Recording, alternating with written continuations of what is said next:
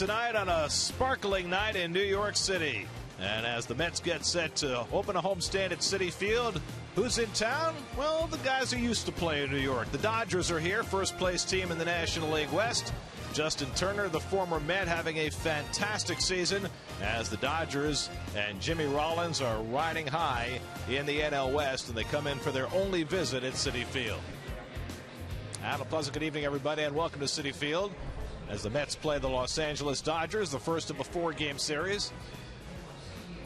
I'm Gary Cohen. Ron Darling alongside Keith Hernandez will be with us in just a moment as the Mets open a four game series against the Dodgers. Coming from Washington, where the Mets suffered as, as, excruciating a loss as they've had all year, giving up three runs in the bottom of the eighth and falling to the Nats yesterday, four to three, and now having to rebound coming off that loss. You know, Gary, I've been in losses like that before. When you're in July, they really affect you for about an hour. If you're feeble minded, you can find a reason to lose every single day. What you have to do is wipe the page clean and move on.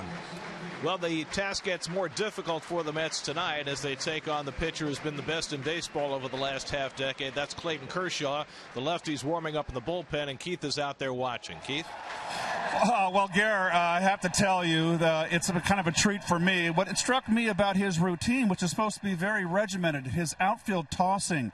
He started out in uh, left center field with the catcher in center field and backed up. Started out around a pitching distance and backed up incrementally, 10 yards, 15 yards at a time, five tosses. But every toss, he went to 100 yards. I was shocked at that. But he was throwing like an outfielder throwing to a cutoff man. He was really airing it out. Then he came back in 10 yards incrementally till he got to the windup, the, the, the distance to home plate for a hitter.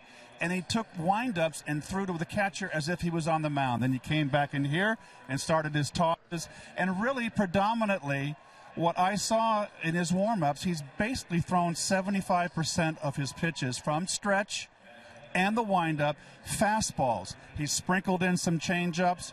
Uh, he's worked on his in groupings of like 10 pitches on his curveball. First time he went through the curveball, it was the hard one. Then he went back to his fastball, worked on his changeup, and then it was a then it was a slow curve he worked back to. But what I noticed already from him, it'd be difficult for a left-hand hitter, is that he's got a boring fastball that runs in on left-hand hitters. And when he started throwing his fastball, it wasn't soft tossing from the get-go. He was throwing like the game was on, the ball running in, and he kept everything at the knees. In the beginning, his curveball was in the dirt. He lifted his elevation a little bit. He found his range. It was really, really fascinating to watch. Left-hand hitters are going to have their hands full not get off to a great start this year coming off his MVP last year, but the last 10 starts he has really kicked it in gear. What's been the difference? Well, the difference is is that his fastball command has been great. I think he came out of the blocks last season. He was unbelievable, Gary, the entire season even though he missed April. But this year he came out a little slow. Remember, he had some misgivings, uh, misdoings in October last season. Once he's got over that though, he's back to the Kershaw, you know, striking out a lot of people, putting up zeros. Mets will have Bartolo Colon on the mound to face Kershaw tonight, and the most recent returns for the 42 year old have not been good. Well, he's coming off his worst start in St. Louis, but he's got Anthony Recker catching him. His ERA is almost two runs less with Recker than it is with anyone else. Hopefully, that familiarity will get Colon going again. So the Mets and Dodgers open a four game series at Citi Field, trying to see what they can do against Kershaw tonight. Mets and Dodgers, all the action coming up on SNY.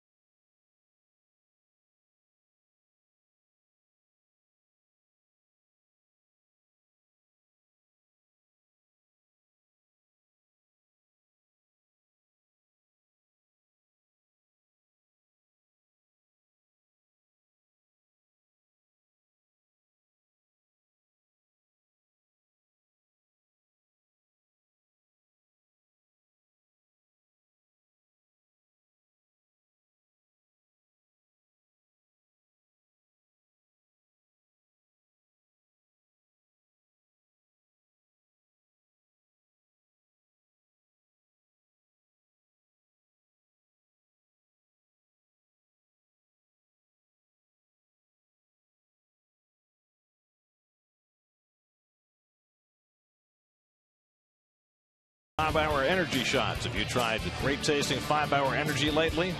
By Land Rover above and beyond.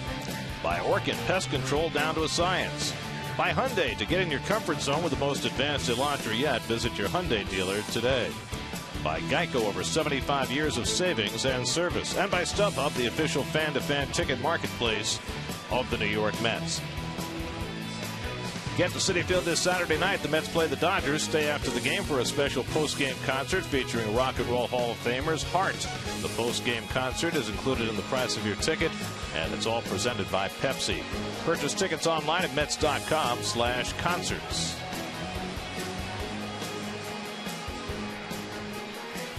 There's your Data Strong fan of the game brought to you by T-Mobile.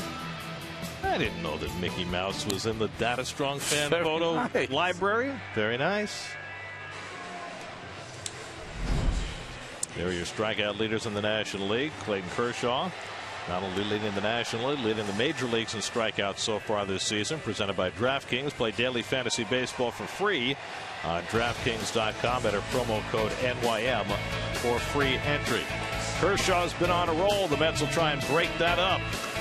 Mets and Dodgers first pitch coming right up.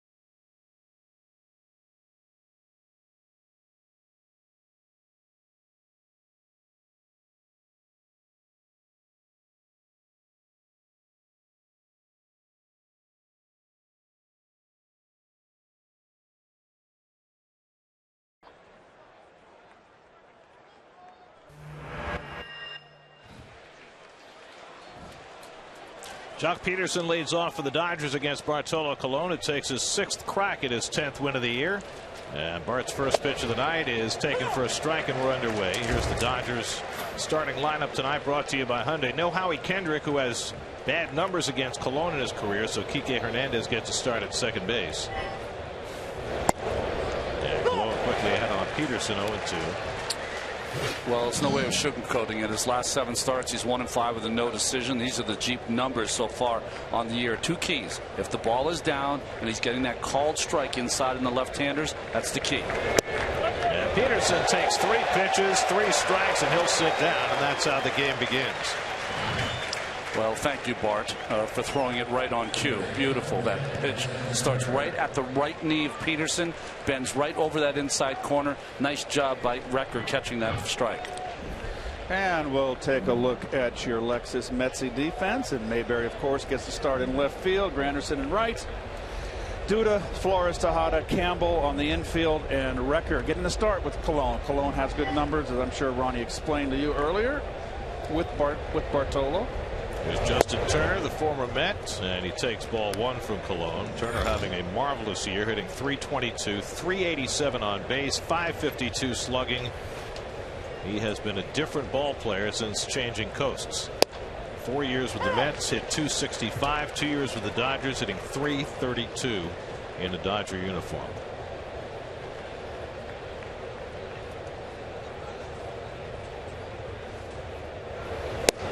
Takes outside from Colon, two and one.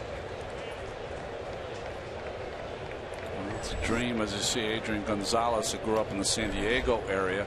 Justin Turner grew up outside a couple hours outside of Los Angeles. McGwire another Southern California kid.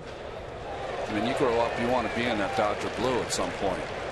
Now the hitting coach for these Dodgers who lead the National League in home runs fourth in the league in runs scored. They sit atop the National League West two and a half games on top of the Giants. They come from Atlanta where they won yesterday after dropping the first two games of that series. 2-2 coming to Turner and he hits one to the second baseman Flores on the backhand and throws out Turner two away.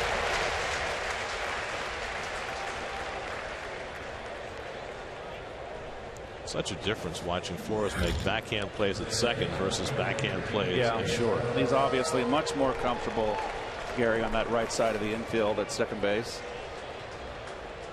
And more range up the middle. We talked about this before. It gives you better defense up the middle. Now Adrian Gonzalez, who has great career numbers against Colon, 9 for 21 with a couple of home runs. He's having a big year and has been killing it since the All-Star break. In the six games since the break, Gonzalez hitting 417 with three home runs. So he has come out firing after a few days off. And you're talking about a guy, another guy that found a home uh, in, in, Los Angeles. He went to Boston and was there very short. Didn't have a good year with Boston. Came to the Dodgers and, and found his stroke. Now in his fourth year with LA, in the fourth year of a seven-year, $154 million contract, and that has certainly paid off for LA. They've given a lot of money to a lot of players. Some of those contracts have paid off, and some haven't. There's a call strike, and it's one and two. Well, that guy could hit, couldn't he? Don Mattingly? A little bit. At the park early today, I had around a 20 minute conversation with Don, and we were talking about hitting, and I was all ears and wanted to hear what his philosophy was. Gonzalez rolls over one. Easy play for Flores and a good start for Colon. Gave up four runs in the first inning in his last start. One, two, three in the first today. Mets face Kershaw when we come back.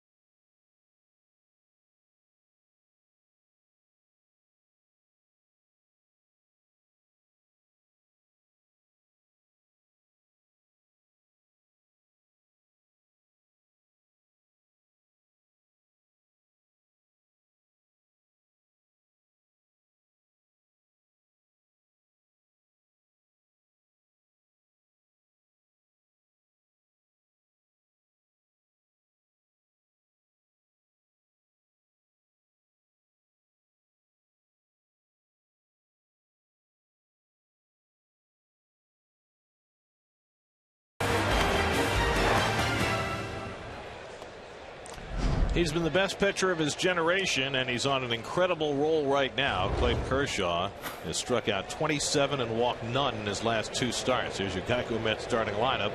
Mets putting as many right-handed bats as possible in against Kershaw. One of the lefties in there is Granderson, and Curtis takes a fastball for a strike. But see his numbers, uh, Toyota numbers for Kershaw this year: 5 and 0 against the Mets in his career, 2 and 0 here at Citi Field. Mets faced him three weeks ago in Los Angeles. He allowed just one run in seven innings. It was a no decision for him. Mets would win that game in the ninth and take two out of three against the Dodgers. That run he allowed against the Mets, that's the last run he allowed. 20 straight innings without allowing a run. Not quite the 43 and two thirds of his teammate Greinke, but not bad. Granderson pops one foul and that'll go out of play. Greinke, by the way, is not here. He was supposed to pitch tomorrow for the Dodgers. He will not. His wife is in labor, expecting their first child.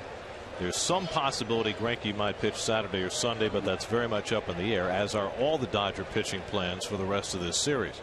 That makes this Kershaw start that much more important from an LA perspective. Granderson rolls one to the right side. Kike Hernandez playing second base throws it out one away. We'll take a quick look at your Dodger defense. And that's always brought to you by Coors Light. There's the Joc Pederson who slowed down, just took the, the world by storm. 20 home runs on the year.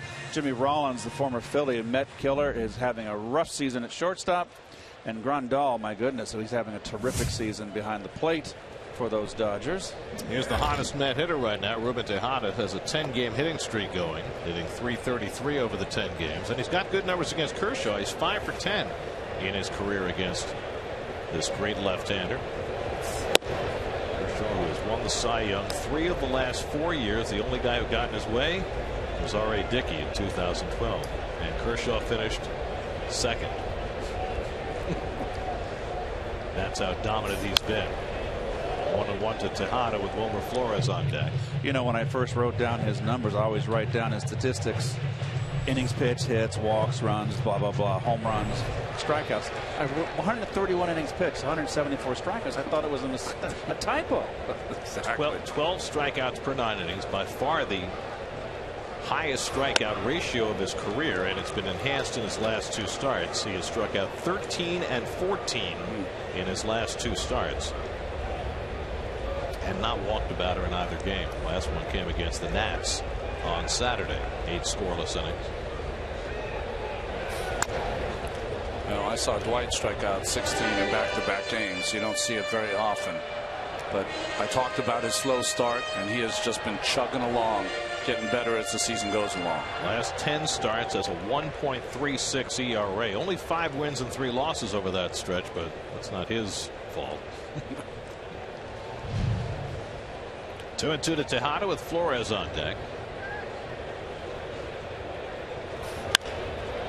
And Ruben hits one out to right, and Yasiel Puig is there. Two out. Keith talked with Ronnie on the uh, open about bouncing back from a loss like yesterday's, which was yeah. clearly the most disheartening loss the Mets have had all year. What about it, especially going up against a guy like Kershaw? Is there a carryover? I think there's more of a carryover, Gary, if you got blown out in a rubber match, you know, 12 nothing.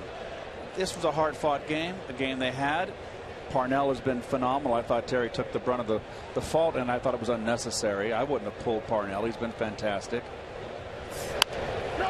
Flores with a check swing roller right to the bag for Gonzalez, and so Kershaw has a 1 2 3 opening inning to match Colon.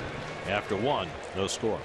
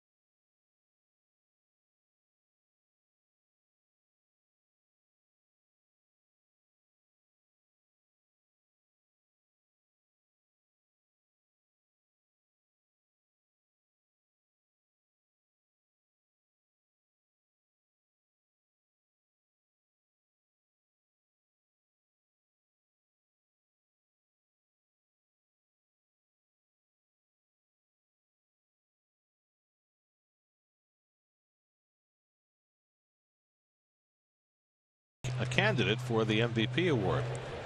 Hashtag SNY tweet. Of course, last year Clayton Kershaw won the MVP in the National League.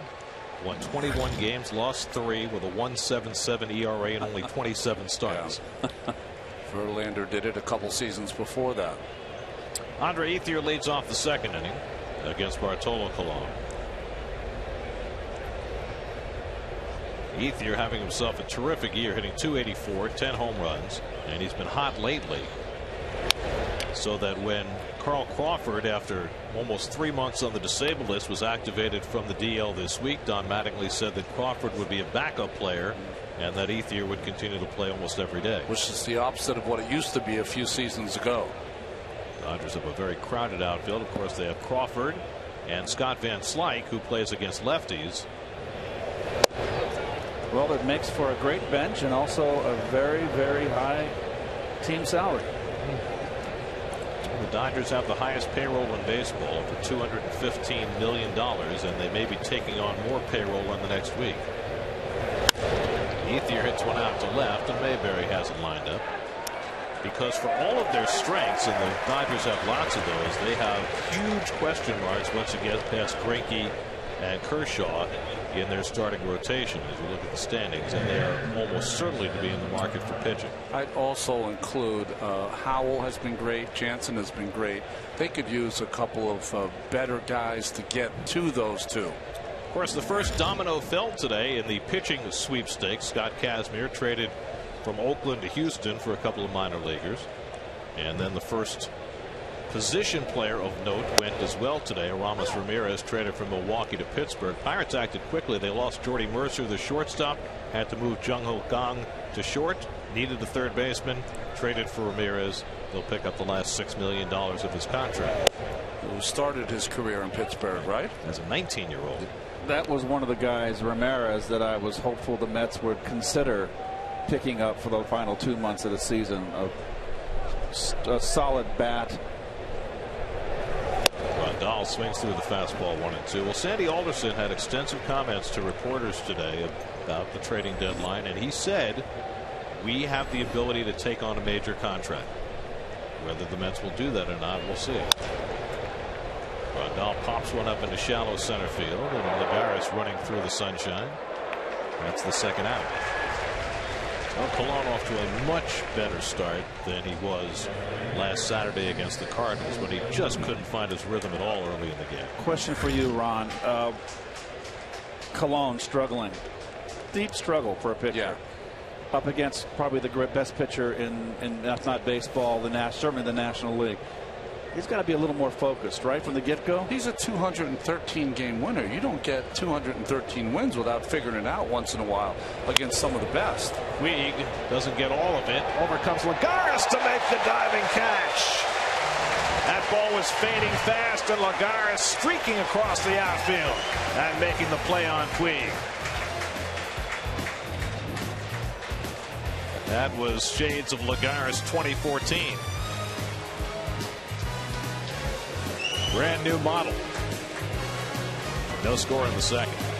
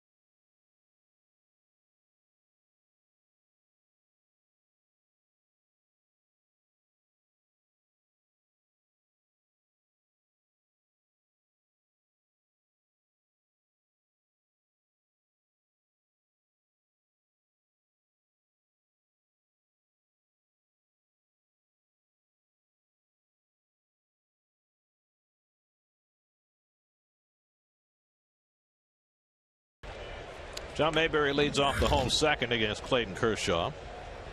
Mayberry trying to snap an 0 for 14 stretch, hitting cleanup for just the second time this year. He has started every game the Mets have faced a lefty this season. But he has not succeeded against left-handers, hitting just 185 against left-handed pitching. However, Mayberry is the last player to walk against Clayton Kershaw. Walked in the first inning of that July 3rd start. Kershaw's gone 24 straight innings now without a walk since then. Well, if you're watching the game from the Mets dugout, Kershaw is trying to bully the right-handed Mets hitters. He's just trying to jam them with every single pitch. It's fastballs, four-seamers in, and then he's cutting it right on the belt on them. He just wants to dictate the at-bats to these righties. The game hasn't changed. The pitcher establishes inside on hitters and gets hitters worried in. He's got him the rest of the day. And plus, he's got that herky jerky motion. He really hides the ball. This is with a curveball, and it's two and two to Mayberry. Kershaw has accomplished so much at such a young age. He's the same age as Jacob DeGrom, and he's won 105 games in his career. I mean, chew on that a little bit. 27 years old and should be just getting started. In the second year of a seven-year, $215 million contract. And he strikes out Mayberry. First strikeout of the night for Kershaw. Well, I mentioned Gary in the open when I was watching. This is the cutter that Ronnie's talking about. And you saw the back circle on the ball, uh, the, uh, the seam making this large circle. But the motion, go ahead, Ronnie. This is so deceptive for hitters. Watch the pause with his foot at the bottom. Pause, and then he goes. That little pause, it's what gets you off of seeing where that ball is coming from. No one else does it in the game. So, as a hitter, when you approach a pitcher that has this herky jerk, Campbell hits it right at Puig. Two out. you almost, Gary, you cannot, if you pay attention to the motion, and really you never, you look at the motion, but you really are focusing with the point of release. But with a guy with a motion like Kershaw, that's so herky jerky, jerky and lifts his front shoulder, and all of a sudden, boom, here comes the ball. You really have to eliminate his motion and really totally focus on point of release. Eliminate the motion. Lucas Duda hitting sixth in the order for the first time this year takes a strike. But what about the hesitation? Because that's got to throw your. Well, then you've got to make you got time to make an adjustment on that because it's early, so you just got to skip a beat with him, you know, because that's what he's doing. He's skipping a beat. It's almost like you're relaxed until he starts to come at you after the pause. So you watch until after the pause, relax. Now you get focused if you can. Kind of reminds me of um, remember Rob Nen how he used to bounce That's his right. foot. He used to skip it across Yeah. the mound. It seems as though it would be that kind of break in your timing. Just the ball's coming a little later than you expect. Duda over the last 29 games hitting 142. And a few better at bats in Washington, but the trend line has not been good. Well, Lucas and Lagares were out uh, very early today, having extra batting practice. And I want to let you folks know out there that I beat Gary to the ballpark today. First time.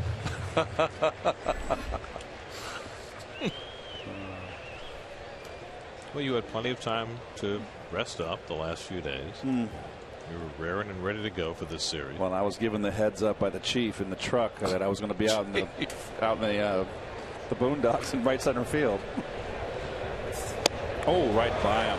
95 from Kershaw and unleashes one past Duda for his second strikeout. Six up and six down for Kershaw. No score after two.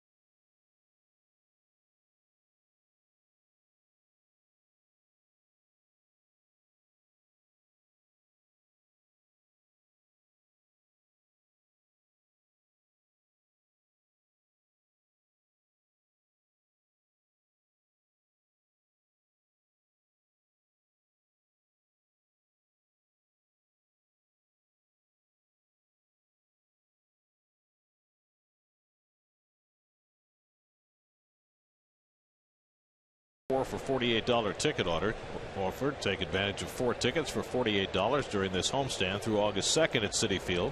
Purchase tickets online at Mets.com slash DeGrom. Kike Hernandez leads off for the Dodgers in the third and takes a breaking ball from Colon for ball one. Hernandez playing second base today. His 26th start at five different positions. Very useful utility player for LA. Well, kind of what Justin Turner was for the Dodgers, except he's playing every day now. That's Howie Kendrick. Getting having a great off- season. Getting the day off today. Doesn't have good numbers against Colon, so Mattingly will sit him today. Have him back in there tomorrow against Jon Niese. Two and one to Hernandez, who started his career last year with the Astros and then got dealt to the Marlins. Already with his third team at age 23.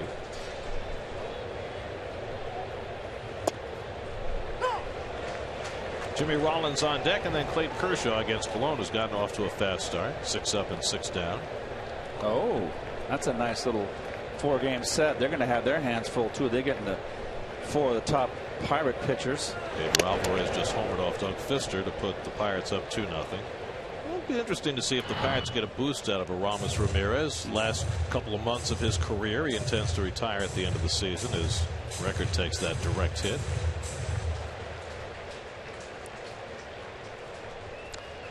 A brotherhood, the home plate umpire and the catchers. They kind of feel their feel each other's pain when they get nailed in the mask. Fellow masked men. 2 2. Got him looking. Second strikeout for Colon as Hernandez is retired. One away. We talked about the fastball down, the fastball that comes over the plate, starts off the plate and comes over that outside corner. He's got it nailed so far. Nice There- to see. Contrast in starting pitchers tonight, north and south poles. It just goes to show we got overpowering stuff from Kershaw, and then you've got a Dutch master out there. Negative but muted reaction to Jimmy Rollins in his first appearance at Citi Field in something other than a Phillies uniform as he pulls it foul. I mean there were a few boos and Jimmy was smiling at him but I thought there would be something a little more like a groundswell. Well, he was laughing at Anthony Recker. I bet you Anthony Recker said something like, oh, boy, they're still booing you, Jimmy. 15 years in a Phillies uniform not faring well in his first year as a Dodger hitting just 204. Really struggling uh, from the left side of the plate on the interstate 186. Only two active players have hit more home runs against the Mets than Jimmy Rollins, and those are his former teammates Ryan Howard and Chase Utley. 30 home runs in his career against the Mets. And plenty of conversation. Team to beat. Backed it up, though, didn't he? Yes, he did with an MVP in 2007. All those years when Jose Reyes was here as the shortstop for the Mets, there was a competition between the two to outdo each other. Well,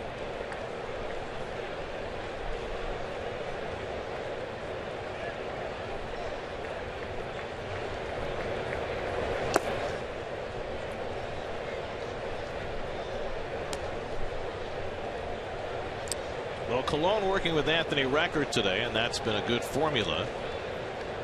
He's got a far better ERA with Recker behind the plate than he's had with any of the other Met catchers this year. And I'm not sure that's something you can explain, Ronnie. No, can you? it, it's it's hard to explain, especially since I I was surprised how many innings Recker had caught him. Gets a hold of one to deep right center, taking a look Lagares, and that ball is out of here. Jimmy Rollins makes his return to Citi Field with a home run, his ninth of the year. No, Rollins has had a habit of doing this. Gets a negative response from the Flushing crowd and comes through his 31st career home run against the Mets, and the Dodgers have a 1 0 lead. Chief, the first pitch that Colon has thrown up in the strike zone. Tried to come inside, tried to paint that inside corner, and it bled right over the middle and up in the zone.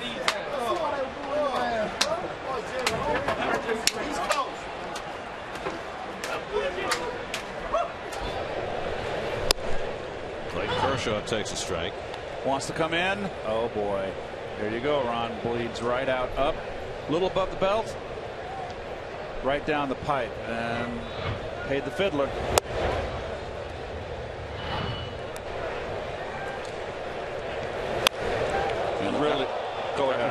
Lagares was shallow. He didn't even he really just, run after yeah, that. He realized right away. That was well struck. Kershaw slaps one through the hole, and he's got a base hit. Seventh hit of the year for Clayton Kershaw. So after Colon had retired the first seven, now he gives up a home run a single to the eight and nine hitters.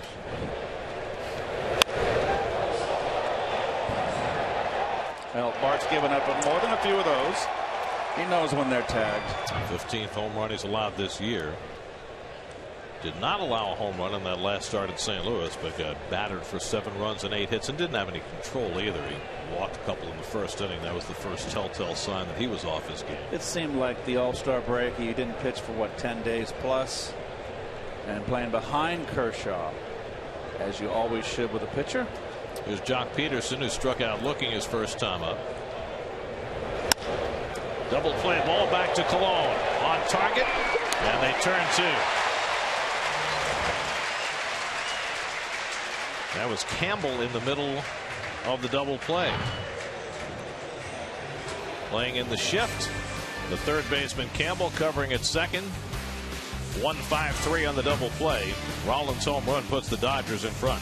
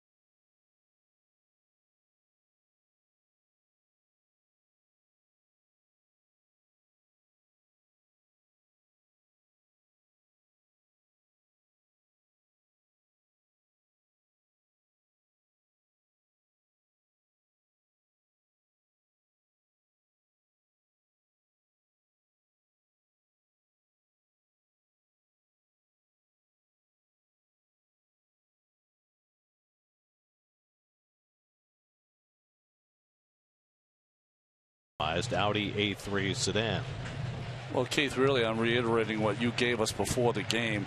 Uh, that great fastball with great control, especially down. He's trying to take away the will of the right-handed hitters with that cutter and slider. He'll throw out the lefties when he's behind also. And the curveball, to me, is the best left-handed curveball in baseball. But my question for you, okay, your MVP or 79, how do you face this best pitcher of his generation?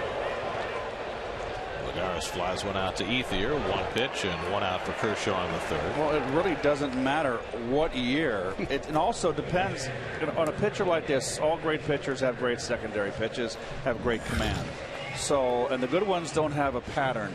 So, a pitcher like Kershaw would give me trouble because of his herky jerky motion. So, my approach would be I'm not going to try to hit a home run off of him. I'm going up the middle off of him, see the ball out of his hand, and and work uh, in both work into both gaps and not and if I get ahead okay 2 and 0 maybe I can depending on the on the situation in the game I can look for something maybe in in the hopes that I get it. And if I don't get it, I can take it. I'm two and one. So what? Another factor. Am I red hot going into this game or am I in a slump? If I'm in a slump, I am really going up the middle and not trying to hit anything even in the gaps. I'm going to be short and try to hope I can get a situation where a single can beat him. If I'm red hot, I'm going to be a little more. Uh, I might be a little more of a, a little more of a gambler. With that curveball that's going to start behind you and has such great break yeah. on it. Are you going to try and lay off that pitch, or are you going to hope that he hangs one and look for it? I'm going to hope that he throws it because it's going to break away and down into more I like it. If I'm going to go up the middle, I'm going to keep my shoulder in. Carlton had probably everybody says it was a slider, but to me, I always thought of it in terms of of, of a curveball, and it always they are going to throw it down and away. So my point being is when you're going up the middle against a lefty lefty for my in my case. I'm going to take inside. I want the ball middle in away so that I can hit off, off a fastball and adjust to the curveball. Mm. It's still going to be work with a guy like this. So you're telling me that you're trying to eliminate half the plate with him because you're not going to be able to hit that good fastball in if it's on the corner. Three quarters of the plate against a left-hander. Uh, the good ones that throw hard. Yeah. I felt I could cover. I either look three quarters in or three quarters away, and I'd have to take yeah. the other quarter. I, I, I couldn't cover the, the, whole entire plate. 3 2 to Recker. And he takes strike three called. Borderline pitch. Ben May, the rookie home plate umpire, punches out Recker for the second out. And it is borderline. I thought it was low.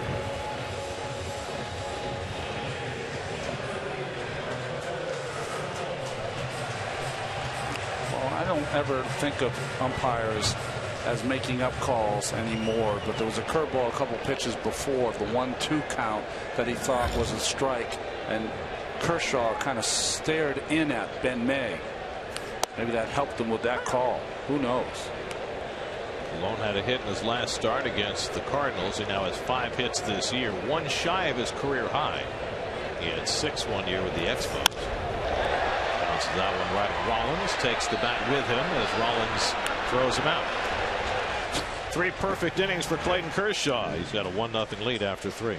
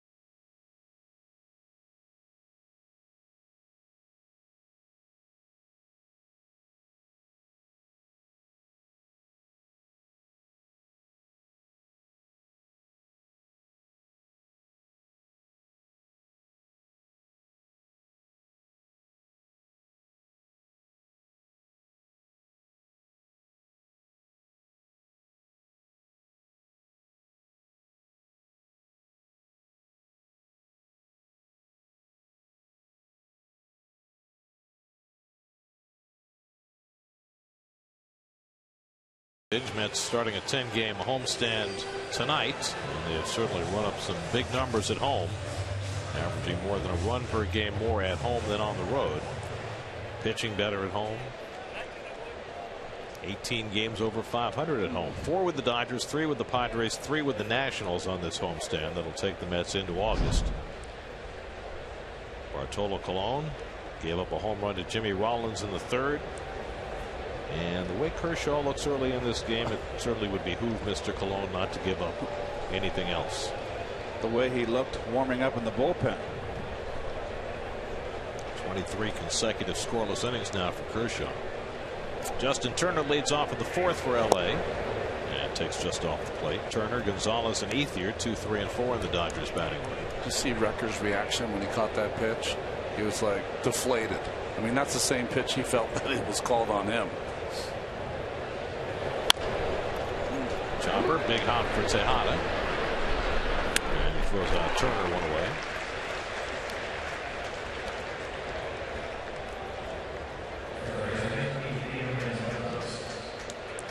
Well, it's going to be interesting to see Gonzalez. I think he's one of the smartest hitters in all of baseball. He made an out his first time up on a little changeup from Colon. He's one of the best, I think, at sitting on pitches if you tend to want to pitch him just one way.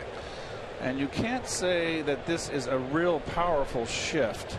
But the fact that you, he doesn't run well, you correctly have Flores out in the outfield, and you have the shortstop up the middle. I can live, live with these kind of shifts.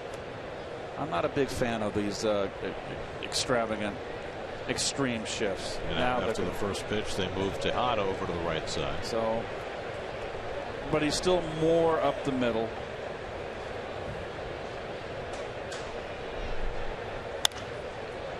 You know what my feeling is a hitter like Gonzalez? If you put a shift on like this, you're the hitter, Gary, you can see it.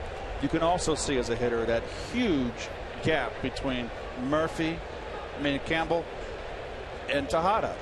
If it's a base hit, it's going to beat you. He's got a good enough back control to get a base hit to that side of the infield. I will say this, having watched Gonzalez over the years, hits a lot of fly balls to left field. He hits a lot of home runs to left yes. field. Never really seen him hit ground balls to that side of the field. And I'm sure that's what the Mets charts say too. He lines one to center field, and that's in for a base hit. Third hit for the Dodgers against Colon. One out single. I think that's the I think that's that running sinking fastball that he was right on. Just the good hitters, they always seem to find a hole, don't they? If you hit line drives, that's usually what ends up happening more Thank often you. than not. Yep. One out and one on. Here's Andre Ethier, who fly to left his first time Ethier now in his 10th year with the Dodgers. Didn't start out in their organization. He was drafted by Oakland. And he traded to the Dodgers before he got to the big leagues. Grounds back to Colon. He'll start another one. This time Tejada with the turn for the 1-6-3 double play. That's two double plays started by Colon to end each of the last two innings. He really feels his position well, and he's always on target with his throws. Middle of the fourth, 1 0 LA. And that's a 1-6-3 double play this time.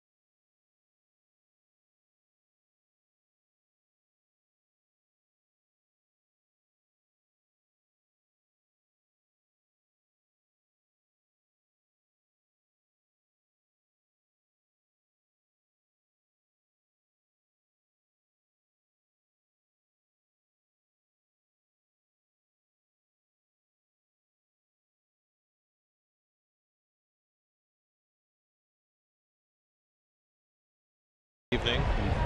Low 80s, low humidity. Couldn't ask for more. Curtis Granderson leads off. Mets might opt for a hit or something of that ilk. They've been uh, shut down by Kershaw over the first three innings, nine up and nine down. Granderson grounded out to second base his first time up. It's been a rough year for Curtis against lefties, hitting 121 coming into the day against left-handed pitching. Expect a little bit more than that. Daniel Murphy likewise has really struggled against lefties this year. Murphy is sitting tonight. That can't be easy, Keith, with that little streak of sunlight uh, yeah, it's not. I think you can. I think you're okay, Gary. I think it's too far to the right. You know what used to bother me was old Candlestick. Was that Candlestick had the two center field, um, left center field lights, and they were up way high because that's why it was called Candlestick. But they weren't in the gaps. They were kind of scrunched in towards center field and I could see the right center field one on the corner of my eye, my right eye, looking at the picture. So I had to tilt my helmet a little bit, just slightly. So I, you know, and uh, just to get rid of that, those lights, it, it, bothered me. Well, it's the sunlight glinting off the windows of the the building out in right center. To be better for a lefty pitcher than for a righty in terms of an advantage. It was kind of like when I was trying to hide from our director Bill Webb when I was trying to sneak a back in my smoking days in the dugout. Bill Webb was always on me with the camera. Used to drive me nuts. Curveball pulled down to first, and the four-time Gold Glover Gonzalez beats Granderson to the bag. One away. Tonight's Cold Hard Facts brought to you by Clean Crisp Coors Light. Well, we alluded to it earlier that the top two in the Dodgers rotation are the best one-two combination in baseball, but the rest of their starters, that's been a bit of a problem. They lost Hyun-Jin Ryu for the season. They lost Brandon McCarthy for the season. Brett Anderson's been banged up from time to time, has a little bit of an Achilles problem right now. The Mets saw the curveball throwing Bolsinger. Right. Who won for them yesterday in Atlanta. he had some interesting comments after the game yesterday. You see that? Said um, people get on me for throwing too many curveballs. And then he smiled and said, but if they're not hitting it, what am I supposed to do? That's his best pitch. It's his only pitch. Tejada flying to fly to right his first time up. Ruben's been playing pretty good lately. Playing every day and uh, inspired. You know, he's been getting some hits and uh, playing well in the field and he, and he sees Kershaw well for some reason. He's uh, had better at bats than most over his career.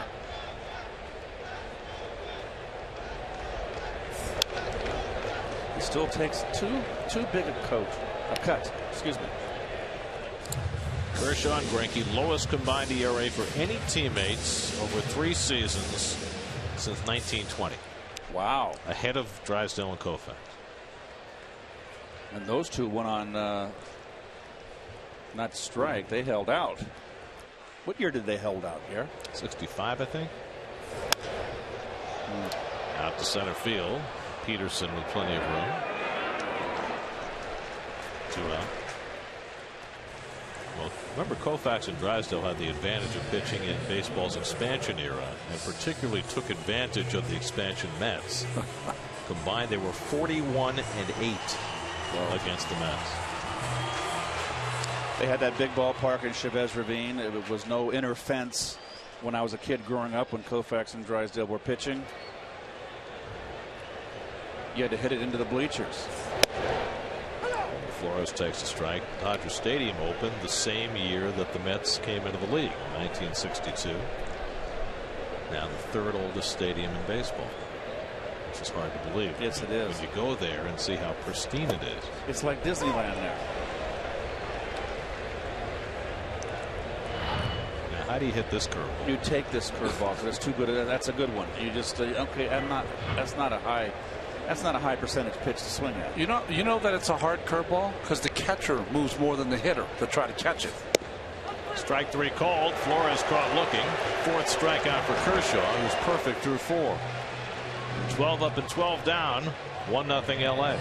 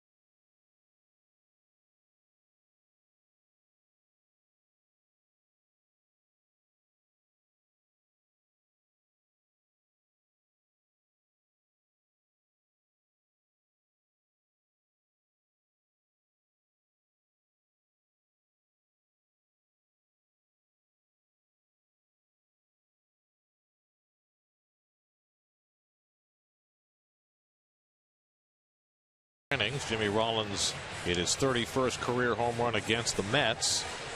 And that's the only run of this game. Sunday on Jets Nation, training camp is less than a week away. Really? Why some veterans are already feeling the heat. Plus, will Ryan Fitzpatrick bring out the best in Geno Smith?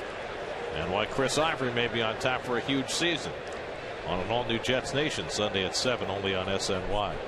Why, as a Jet fan, was I not inspired by that promo? As Monty Grandal leads off in the fifth inning. Grandal flied to center his first time up.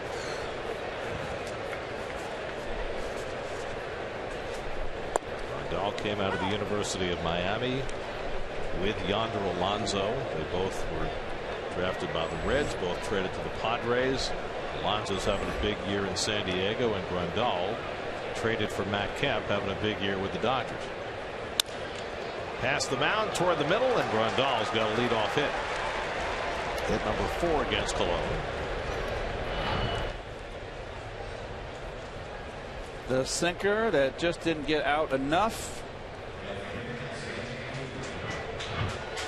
I just noticed the Dodgers road uniform. They have Dodgers written across it. Used to always have Los Angeles, and you've got to have Los Angeles on that chest. Come on.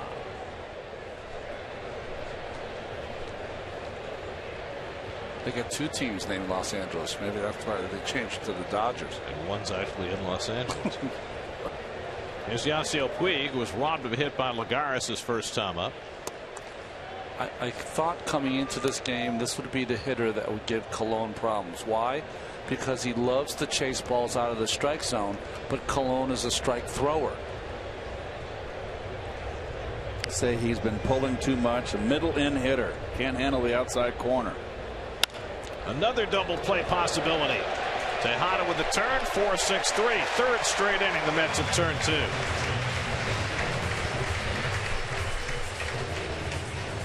Boy, is there ever a bad hop on the infields today?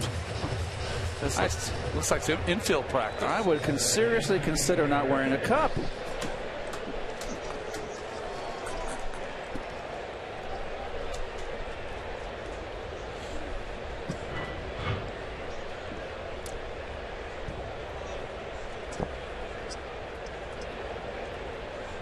Here's Hernandez. That was Hernandez.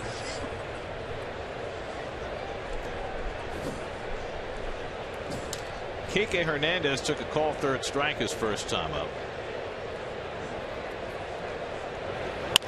Line past the mound, but Flores hadn't played perfectly. And the side retired. Five pitch inning for Colon. Halfway through, 1 0 Dodgers.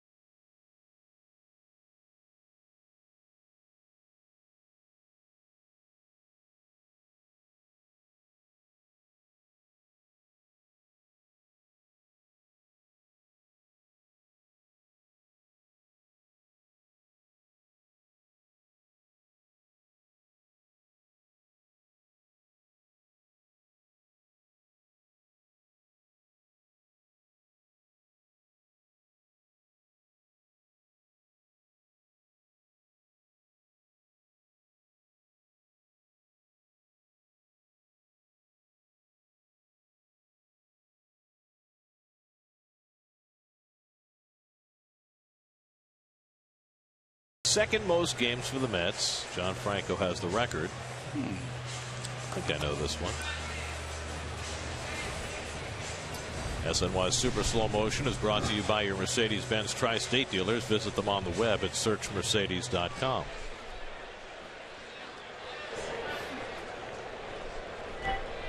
I believe it's a starting pitch. Yeah. Yeah.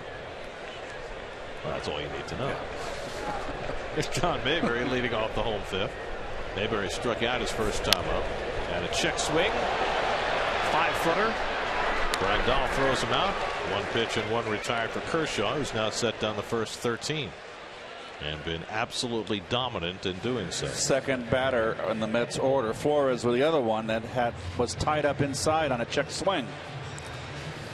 Like I said before, he is against the right-handed hitters, almost being like a bully to these hitters inside. And now they're starting to react and saying, boy, he's throwing all these first pitch strikes. Let's try to get out there and hit that first pitch. And now he's giving up some easy outs. Four one pitch outs for Kershaw already.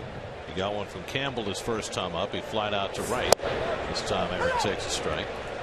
There's that fastball on the knees.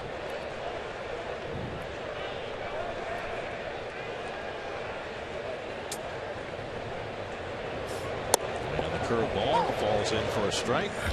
0 2. I just your approach on Kershaw is if you get a fastball, you can't take it. You don't want to hit the hammer.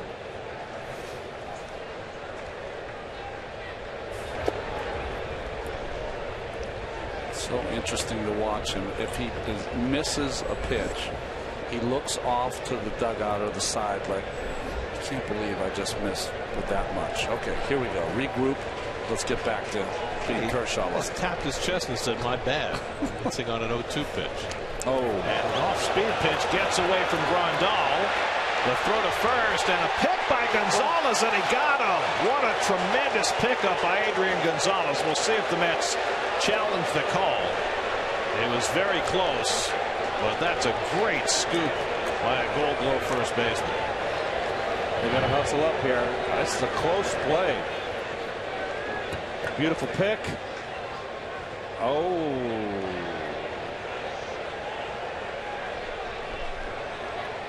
Tie base. He got it. Looks safe. Yeah, he's going to be safe. Are uh, the Mets not challenging? Looks to me like the Mets are not challenging. Wow. Even though it looked on that last angle as though Campbell was safe. Well, it was worth challenging. I mean, to me, it's worth challenging. Wow.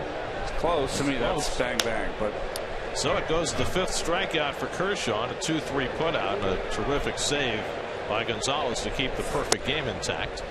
And a call strike to Duda, nothing in one. It was a pretty good play by Grandal, too. That ball hit right before the plate. He got it with his right shoulder. The funny thing is, is uh, not the funny thing is, the in between hop on the throw. It, it, it, uh, Gonzalez couldn't get a good stretch forward because he had to play the long hop. Mm -hmm.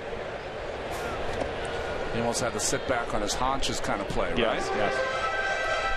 Well, he's the defending Gold Glove first baseman for a reason. Got good hands. Well, that's the closest the Mets have come to a base runner tonight. I have to say, here comes the big hook. You could throw him the slider away in the dirt. And the curveball fouled off. I should no, Ron. I should defer to your judgment. I'm just thinking ahead, dreaming of if I had this stuff, what I would use it, how I could use it. 32 strikeouts in his last 22 innings, no walks. And he gets Duda with the curveball. Six strikeouts for Kershaw in five perfect innings. 15 up, 15 down. This is the closest the Mets have come to getting a base runner. Was he safe? Awfully close. Mets chose not to challenge. Still 1 0 Dodgers.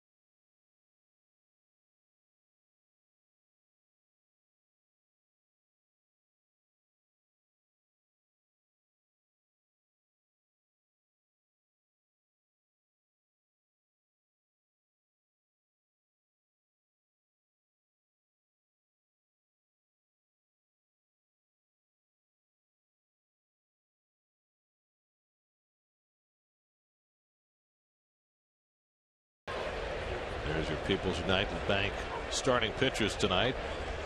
Perfection from Kershaw through the first five. Colon almost as good, but gave up a Jimmy Rollins home run, and Rollins will lead off the sixth inning against Colon. He's thrown only 48 pitches to get through five innings. Rollins' home run was his ninth of the year, and his 31st career against the Mets. To come in, and it bled out, up and out over the plate, and we've seen Jimmy Rollins do that more than a few times. 30 home runs against the Mets as, the, as a Philly, and now one as a Dodger. Can't even buy a hit left-handed, and hits one over the wall. Kershaw on deck, and then Joc Pederson for Colon in the sixth. Uncaught by Recker, one and two. Maybe he was trying to carry him that ball over to Kershaw and maybe get him in the ankle or something. Might be their best chance. Little dribbler. Recker out to get it. And hurries the throw to Duda to get Rollins one away. So each catcher's had one of those plays to make tonight. Nice footwork by Lucas over at first. Now Kershaw, who had a base hit through the hole into left his first time up. Would you consider putting him on and making him run the bases, tire him out that way? He's a pretty good hitter. He's got a game where he won one nothing, I think, on opening day and hit a ball out of the ballpark. That was the only run scored.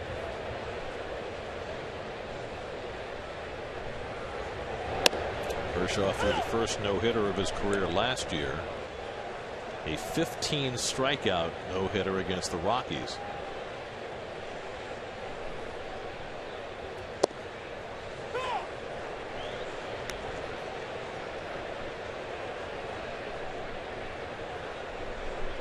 In that no hitter, he was perfect for the first six innings in that game. It's an error by the shortstop, Hanley Ramirez. I Yeah, think that he- might have ended that. There were no walks. Yeah. It was a throwing error that broke up the perfect game.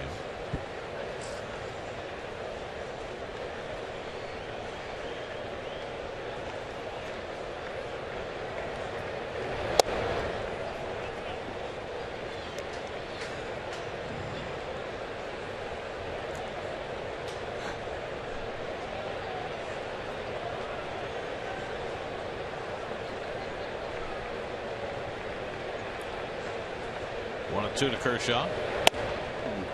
Colon sells one away, two and two.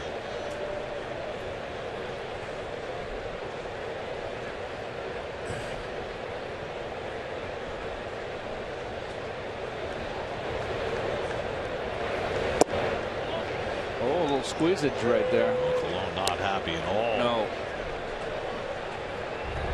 He's not happy because he's seen from the other side that he feels as though Kershaw is getting every close pitch on Correct. the. He's gotten a couple close ones, borderline knees, and he didn't get that one. And it's a pitcher up too. He really stared into Ben May, the young home plate umpire. See what he gets on three and two. And he gets the call on the inside corner that time for his third strikeout of the night. Two out and nobody out. Let's check in with the studio. Kerith Burke has a game break brought to you by Honda.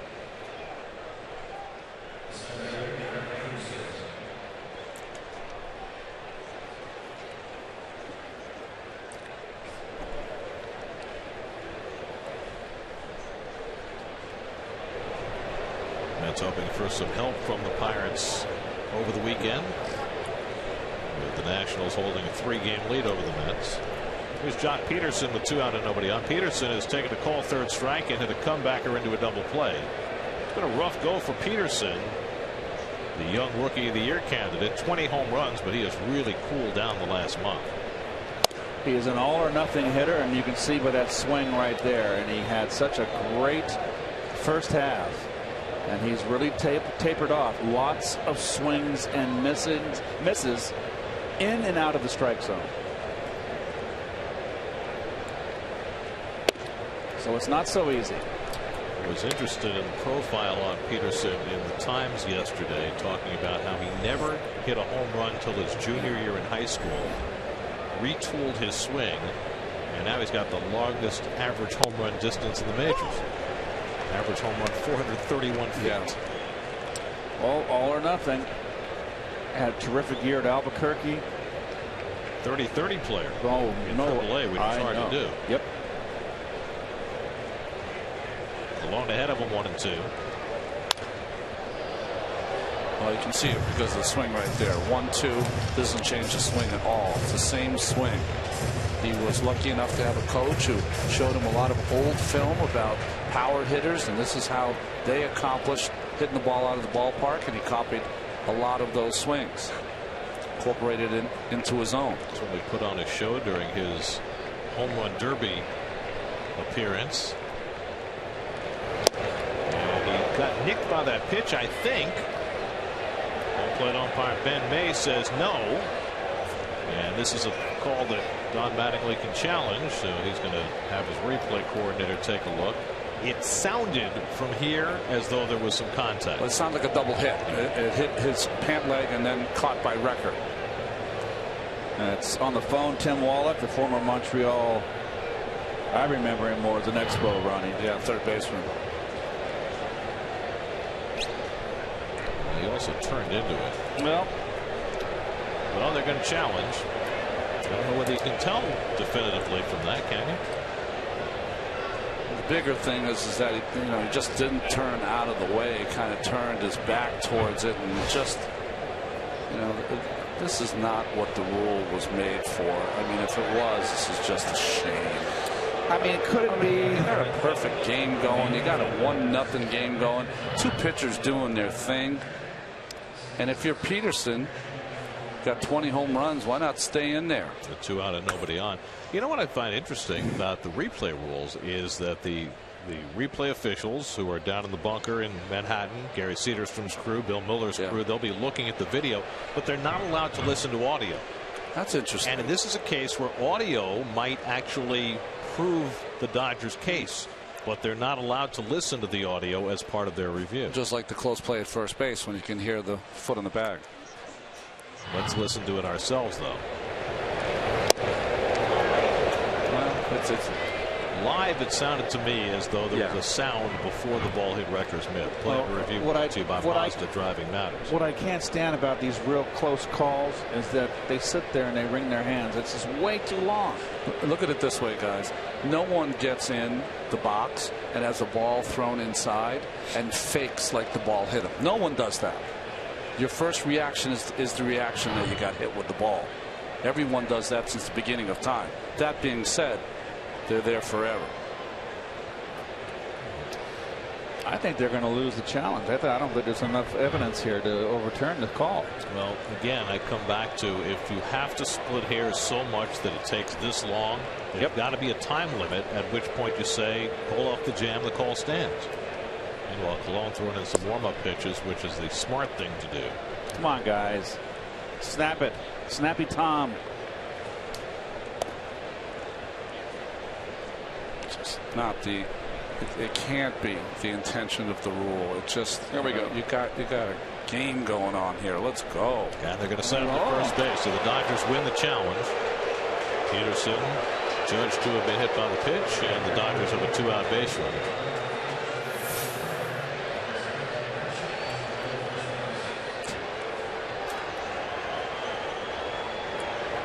Five minutes and you get the light up a green box. Very. And you know this so annoys fun. this annoys me too. They announced the time of the review at two minutes and 17 seconds, but that doesn't take in all the time that the Dodgers waited and the time for the umpires to run off the field and put on the headsets. It wasn't two minutes and I- 17 have seconds. It was five minutes. I have to shave again after that delay. At least be honest about it. Here's Justin Turner, who's been up twice and grounded out both times. Pederson at first. He's only stolen two bases this year after 30 in the minor leagues last. Really? He caught six times. And it was interesting reading Don Mattingly's comments about that. He said Pederson stole on bases in the minors by getting walking leads, and that just won't fly here. Hmm. Pitchers are just so much better at controlling the running game. So they've really shut him down as far as stealing bases. interesting. He's got a guard on his left hand that covers the thumb. That guys that slide head first, that kind of protects your thumb from uh, hitting against the bag and maybe breaking your thumb. Sprain your wrist, keeps your Yeah, wrist from there you getting go. sprained. What, there's a splint in there? Almost? No, he's bending. He's bending his wrist. Turner gets under one to left, playable for Mayberry. And that retires the side. So a hit batsman after a long delay. One left. Kershaw goes back to the mound, trying to stay perfect. One nothing Dodgers.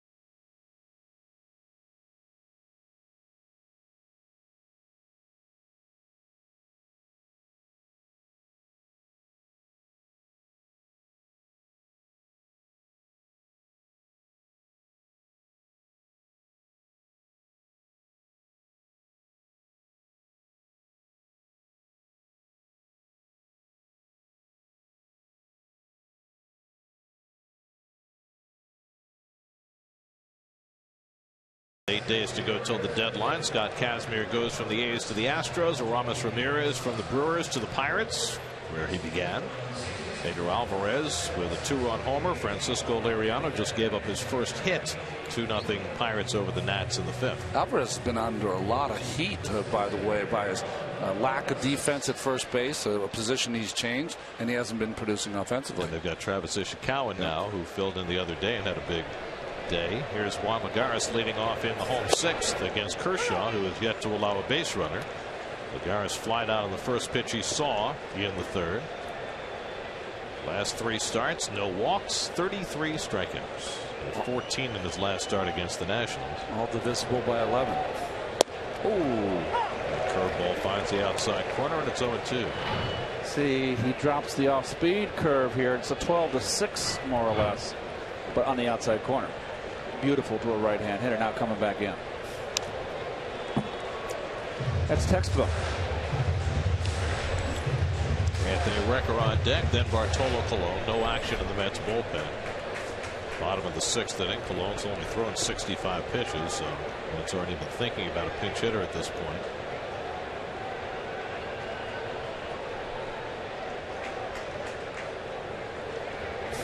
And Lagares goes down swinging.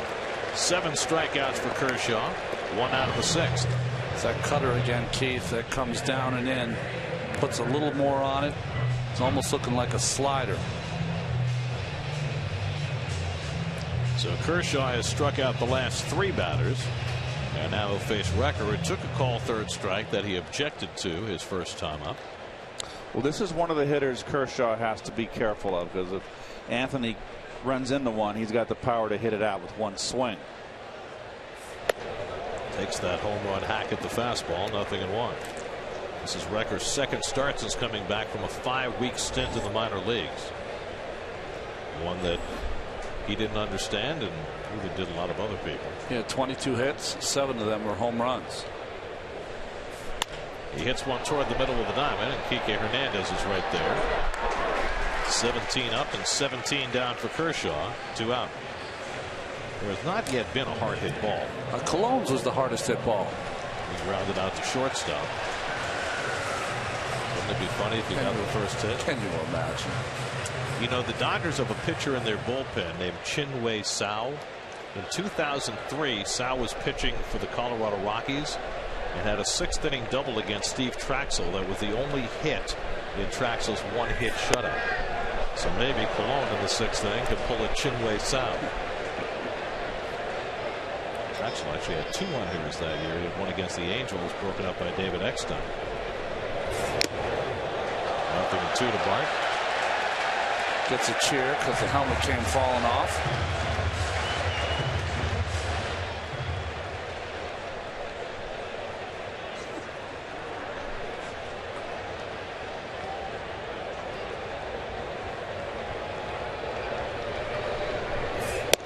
Strike three called. And Kershaw is perfect through six. Eight strikeouts for Clayton Kershaw.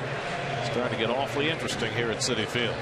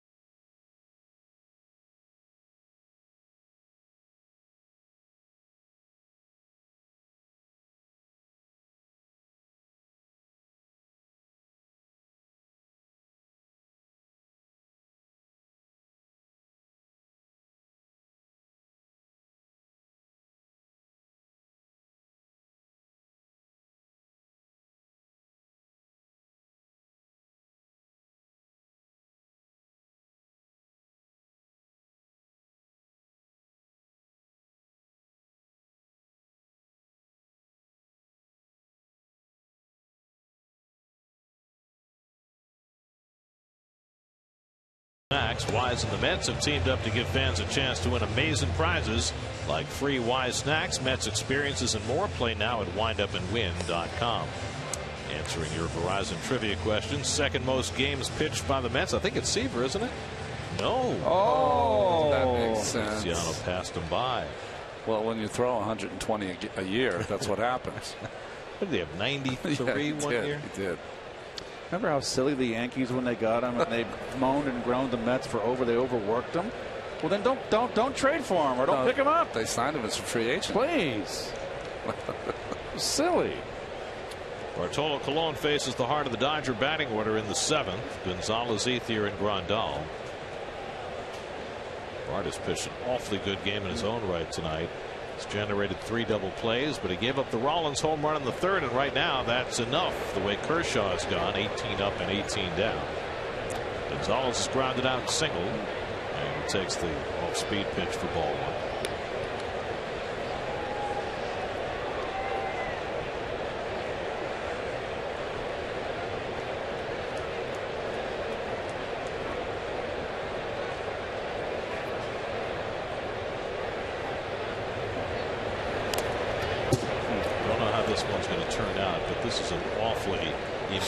start for Colon. No matter how this one finishes, the fact that he's been able to turn around what has been a pretty difficult stretch for him tonight against a good team.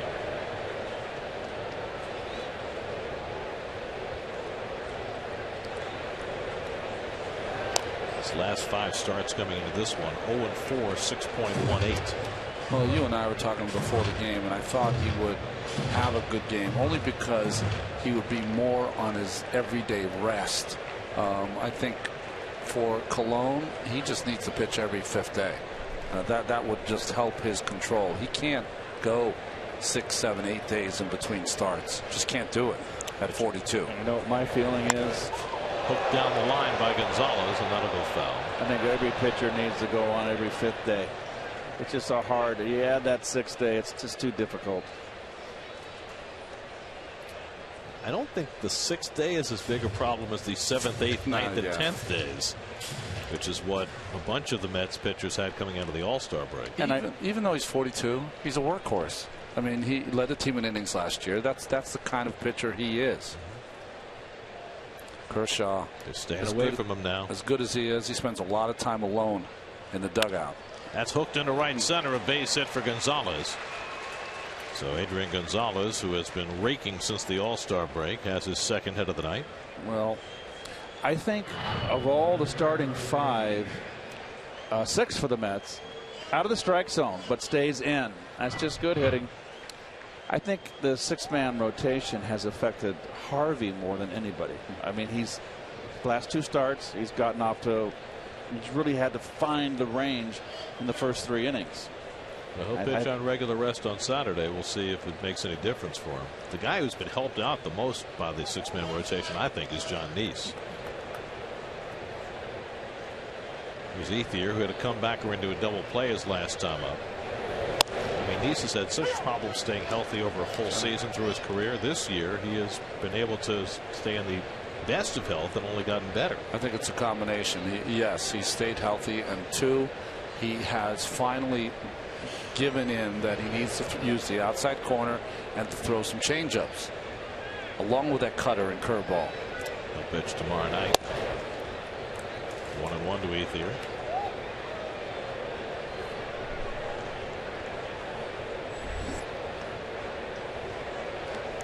Monty Grandal on deck. Colon has given up five hits. He hasn't walked a batter tonight. He has hit one. Although it took a while to figure that out. Line to left, but right at Mayberry for the first out.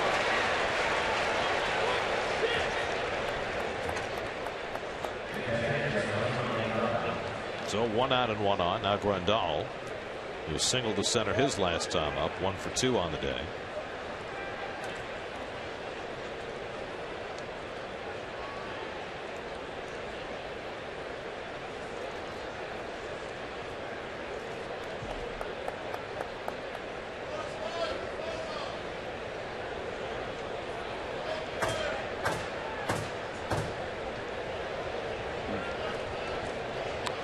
The last couple of innings, Recker and Colon have been going back and forth. A lot of shaking off between Colon and Recker.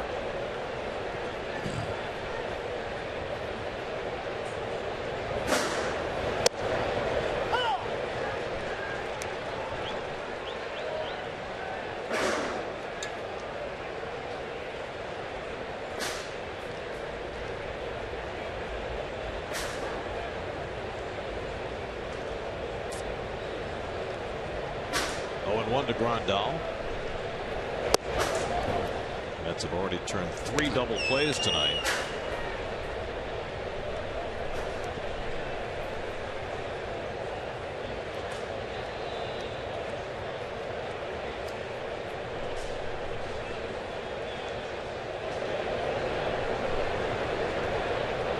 That's helped Colon keep his pitch count down. And he misses with that two seamer. Two and one. Yasiel Puig waiting on deck. Biggest pitch of the night here, Keith. For Colon. Well, the one thing the Dodgers aren't a base stealing ball club. They're last in the National League in stolen bases. Caught more than they've stolen. That's off the plate, and now Colon, for a rare time tonight, finds himself behind in the count. I think you got to send uh, Gonzalez here and have the confidence of a catcher in Grandal, who's having a, a nice season. Only the second three ball count of the night for Colon. His first came against Kershaw before he struck him out. No lead at first. He's not going anywhere. Right. Grandal hits it in the air to right. Granderson moves over. Another two out. As the deadline approaches, get up to the minute info on all the Mets trade news and rumors. Plus a complete breakdown of tonight's Mets Dodgers game on Mets blog presented by Citi, part of the SNY.TV blog network.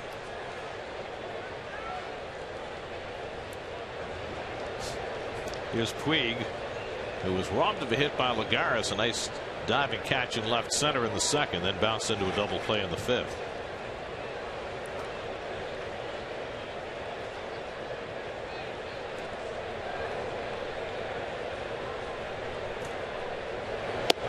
Adrian Gonzalez has as short a lead at first base as I can remember anybody taking since the 1999 League Championship Series when Kenny Rogers was pitching for the Mets and Andruw Jones kept his foot on first base. Like a little league lead or right. no league. Because Rogers had such a good pickoff move. That's definitely conservative. You think? 0 2 to Puig.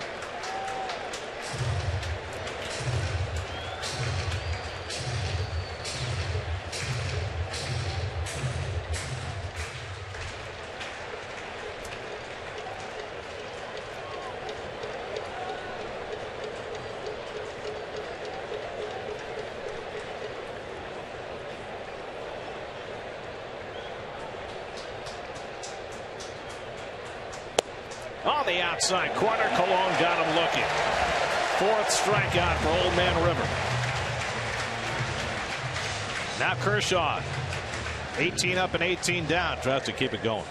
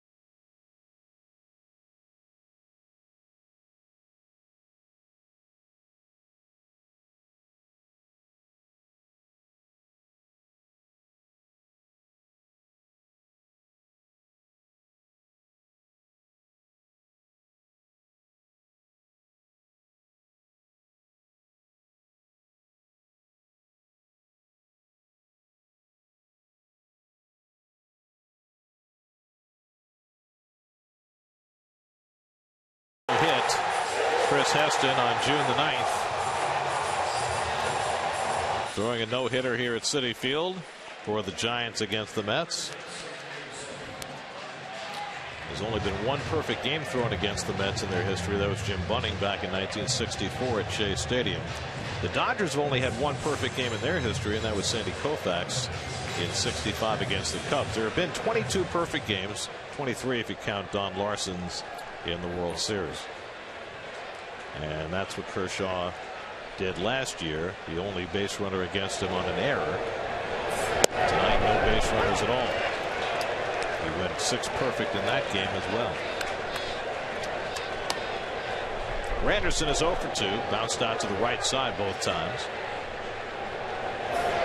No. In for a strike, and it's 0 2. Wicked electric hook. Starts at his head, ends up on the outside corner on the knees. And Granderson pulls one into right field for the Mets' first base hit. On an 0-2 slider. Granderson breaks up the no-hitter in the perfect game. And the Mets have the tying run at first with nobody out. Boy, a pitch to waste.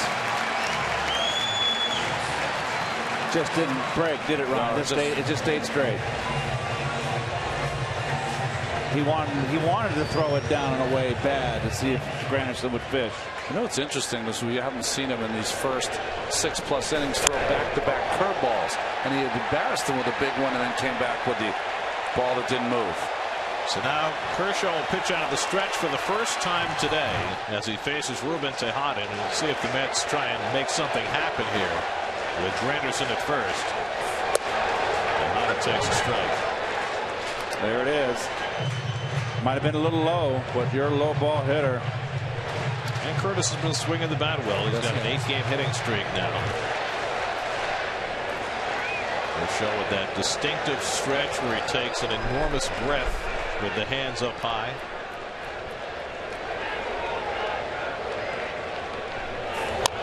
And Tejada dribbles one foul. I thought perhaps coming right off the hit, first time out of the stretch, maybe play hit and run, do something Yeah. Just to try and put some pressure on.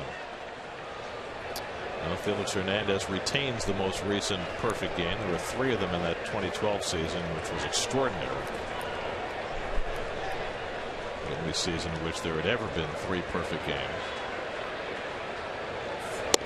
Oh, the corner, one and two to take over. Just missed. Remember Philip Humber's perfect game. The ball got away from the catcher. He was thrown out at first base to save the perfect game. You're right, just missed with that key. That could have been the big play, but for Granderson's hit. Big hole on the right side for Tejada with two strikes.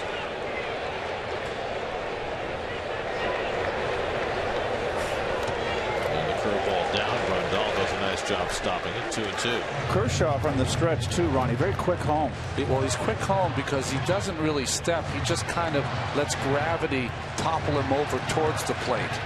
So he just keeps that foot extremely low and just places it in front of him. There's no leg kick. There's nothing. Just kind of leans and lets gravity take him towards the plate. Been six stolen bases against Kershaw this year in 11 tries. Two and two to Tejada. And Ruben stays alive, fouling off that slider.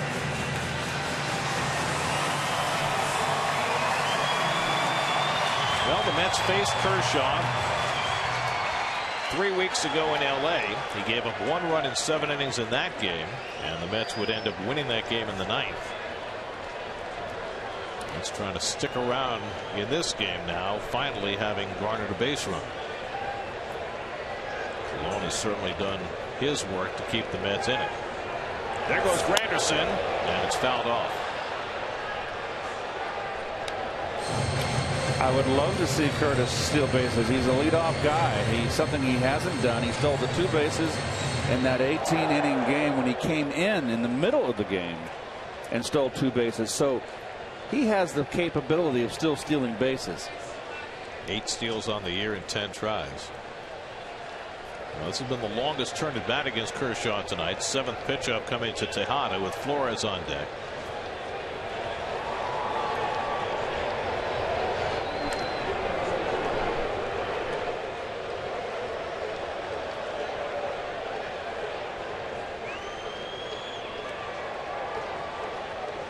Ruben started the night with a 10 game hitting streak, trying to keep that intact.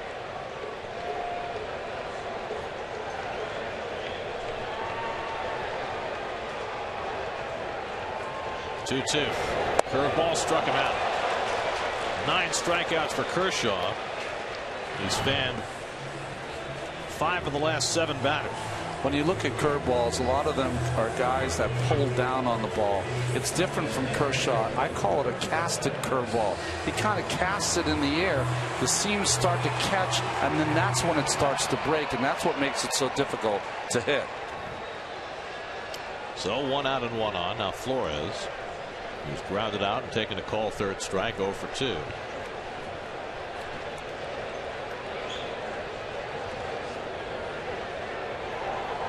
And I know they judge spin rates now on curveballs. But Kershaw seems to break more than anybody. He uses it very wisely too against the right-handers. He comes over the top with a 12 to 6 break, straight down and on the outside corner. And there, that curve had some plate. The off-speed fooled Tejada.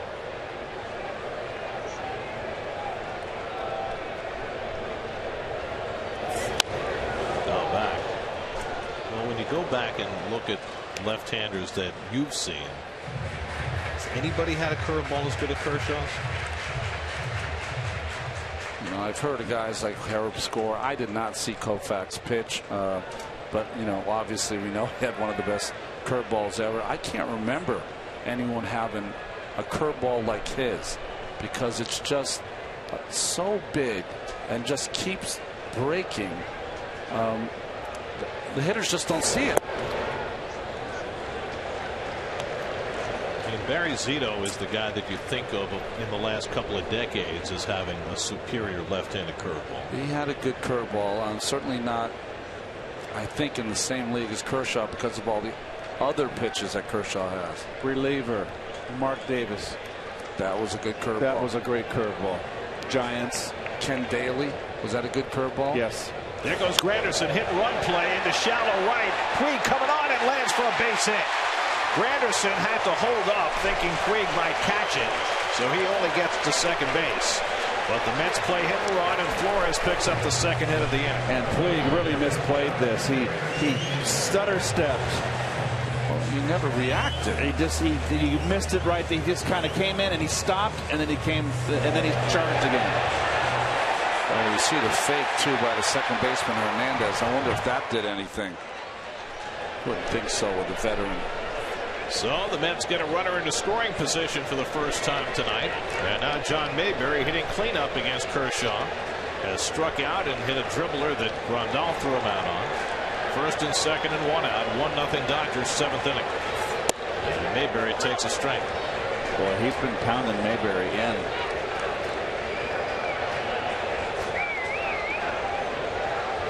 I mean, if it's your third at bat against him, you've seen him, and you, gosh, do you want to swing at the curveball or you want to get a first pitch fastball and take a swing at it? I mean, to each his own. Mayberry had a double against Kershaw in Los Angeles and scored the only Mets run against Clayton in that game. And that was a ball in that he hit down the left field line. Granderson at second, Flores at first, and one out. Eric Campbell on deck. Curveball pulled foul. Nothing and two. Oh, come on up. Manny Gonzalez, third base umpire, booted that one. Hardest working inning so far for Kershaw. He was perfect through six. He's given up a couple of hits here in the seventh.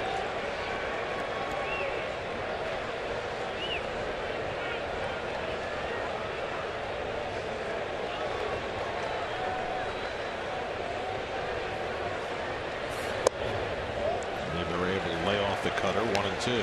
Jenrry Mejia up in the Mets bullpen. Only throwing lightly now. Colon's only thrown 81 pitches through seven innings. Staying loose. Mets first stab at a run.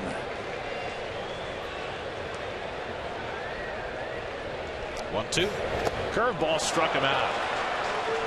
That's 10 for Kershaw, his third straight double digit strikeout game. Well, slider down and in, and then came back with the curveball into dirt. And Mayberry chases it. Ninth time this year, Kershaw has struck out in double figures. He began the night leading the National League in strikeouts. He has really turned it up a notch. Struck out six of the last nine batters. See how he uses that over the top curve, Gary, to get the hitters out in front, the right hand hitters. So now it's Campbell who before this inning came the closest to reaching base struck out on a pitch in the dirt and almost beat the play at first base. He's also flied to right 0 for 2. Two on and two out. And Campbell swinging at the cutter nothing in one. Good down cutter. Boy I'll say it's a what a weapon. Yep. This is just what I mentioned earlier, warming up, how low in the strike zone he was. That is a, almost an unhittable pitch. Never say unhittable. Just did. Curveball bounced slowly. Rollins on the charge. It comes up for a nicely, and he throws out Campbell. And Kershaw is able to sidestep his first trouble of the night. Mets get their first two hits, but strand him. 1 0 Dodgers going to the eighth.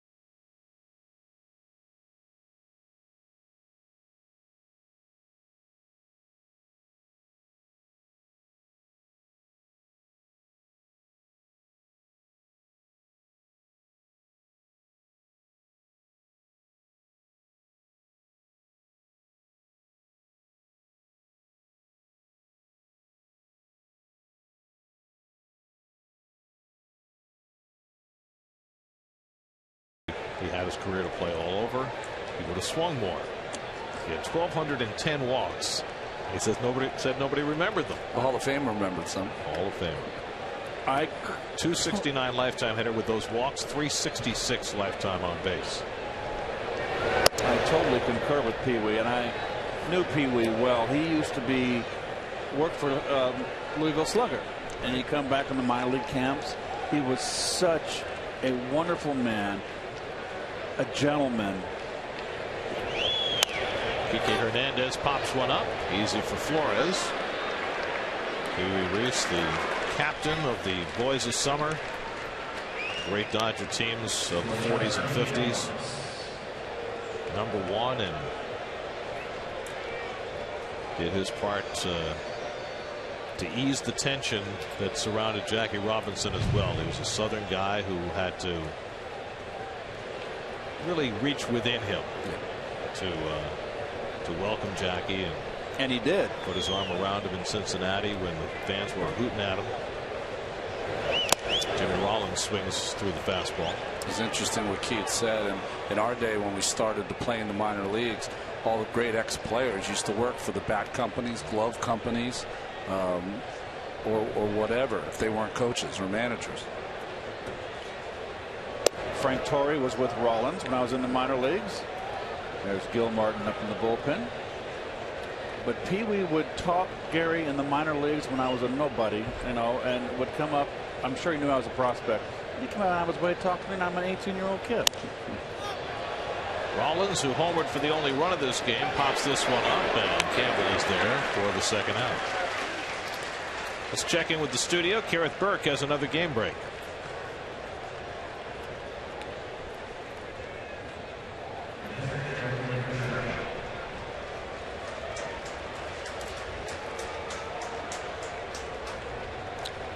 Grichuk also homered in that game for the Cardinals, who won their 60th game of the year last night, most in the majors. It was off Chris Young. There's Kershaw, who singled and struck out tonight. Colon trying to get through eight for the first time this year. He went seven and two thirds against the Orioles May 5th in a three to two win. And now trying to get through eight for the first time. He is due to bat fourth when the Mets come up in the bottom of the eighth against Kershaw. Colon went eight innings five times last year. Kershaw, meanwhile, has thrown 81 pitches through seven. And he flies this one out to center, and Lagares is there. So Colon with a 1 2 3 eighth. Gets through eight for the first time this season, but the Mets down a run.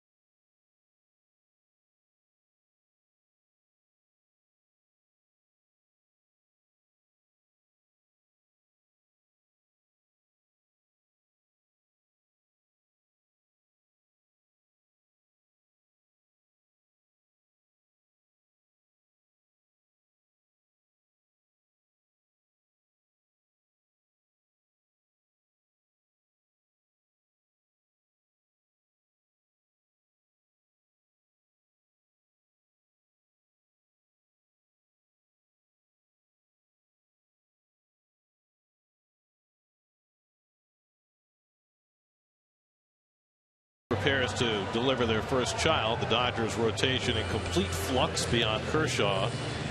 Jonathan Niese goes tomorrow night for the Mets trying to keep alive his terrific run. Matt Harvey Saturday and then Jacob DeGrom Sunday. The story tonight though has been Clayton Kershaw. Well he had a perfect game through through six. 18 up 18 down and you can see just totally befuddling Met hitters complete command. And these are all the strikeouts, and there's plenty, about 10 of them. 10 strikeouts, no walks, last three starts now. He has struck out 37 and walked none. Duda, Lagares, and Recker will try and break through against Kershaw in the eighth. The way Kershaw has now thrown 27 consecutive scoreless innings. Greinke at 43 and two thirds right now, trying to run down Will Hershiser's all-time record. Duda has struck out twice tonight, and he goes after the first pitch cutter, nothing in one. So Greinke is not going to pitch tomorrow. There's a possibility he could be back here to pitch Saturday or Sunday, depending on when his wife gives birth. And of course, know, that will be part of history if he does, as he tries to chase down Hershiser, who's here tonight doing Dodger TV. Dodgers go back home on Sunday night, day off Monday might make more sense for yes. them to leave him out there, but we'll see. It's going to be probably totally up to Zach's preference what he wants to do. They can put him on the paternity list tomorrow and replace him on the roster for three days. So they might go to their long man Ian Thomas to pitch tomorrow. They've got a rookie Zach Lee who might pitch Saturday. Brett Anderson whose Achilles was bothering him warmed up before the game. He might go Sunday. But it's all up in the air right now. Duda hits one toward the middle. That's a base hit. Pederson gets it in, holds Duda to a single, so the Mets have their third hit off Kershaw, and they get the leadoff man on in the eighth. Same pitch he tried to throw to Granderson, he tried to throw to Duda. Ahead in the count. Well, he was 0-2 on Granderson. He was 0-2 on Duda. Look at reaction here. First time he got mad at himself. He knew he made a mistake. Stupid. He is just beating himself up there.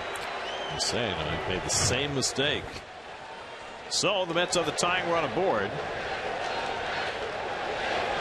Juan Lagares has flied out and struck out 0 for 2, and he's going to try and sacrifice and takes the pitch low for ball one. Well, he squared around, and first baseman Adrian Gonzalez did not move. Well, maybe that's a clue for where you should bunt. Mm-hmm. Maybe beat it out. Anthony Recker on deck, then the pitcher spot. That's uh, Michael Cuddyer in the dugout. Is he available to pinch hit? We think so, but don't know. And he's picked off. Duda is picked off. Hit and run. Absolutely inexcusable. You know what I think happened here, Gary? And it's inexcusable. I think Terry put the hit and run on. And when the hit and run's on, what makes it inexcusable is you never get picked off. Duda's not going to steal a base. So I have to ask Terry about that one.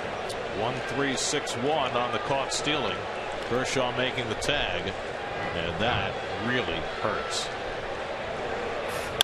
Lagares hits one right at the second baseman. And Hernandez throws him out two away. And I like the hit and run call because you've got a guy out there that's Dominating. dominating and one of the best pitchers in the game. And you've got to try to make something happen.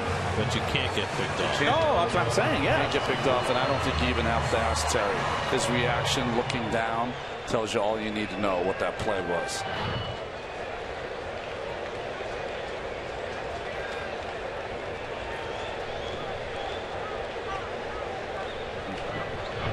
Recker with two out and nobody on. Daniel Murphy has come out on deck to pinch hit, so that might be the answer about Michael Cuddyer's availability. Sandy Alderson said today that Cuddyer probably is going to go on the disabled list tomorrow. And that his knee is worse today than it had been the last few days, despite taking that new anti-inflammatory, which apparently made him somewhat lightheaded. So the Mets have been playing pretty much a man short the last few days, and the fact that Cuddyer is not on deck tells you everything you need to know. There are, uh, when you feel someone says they're lightheaded on anti-inflams, it's like Indocin, those high potent anti-inflams. They can, disor they can uh, disorient you. Recker lays off the curveball, one and two. Saw Familia getting ready in the Mets bullpen. He'll probably be in only if the Mets are able to tie it. Sean Gilmartin otherwise. Top of the Dodger batting order coming up in the top of the ninth. There's a curveball in the dirt there by Kershaw. He hasn't doubled up, or I haven't seen him double up yet. Let's see if he does it here with the curveball. At 90 pitches for the night. Just in complete command. No walks, 10 strikeouts, three singles, all three of them in the last two innings. One two to Recker. He lays off the fastball, two and two.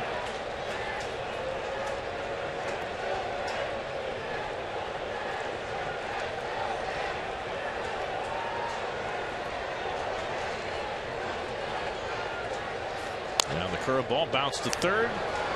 Turner makes the throw. Side retired. An inning that started promisingly for the Mets, much to the dismay of Kershaw giving up the hit to Duda, turned very quickly. Duda gets picked off, and Terry Collins cannot believe what he just saw.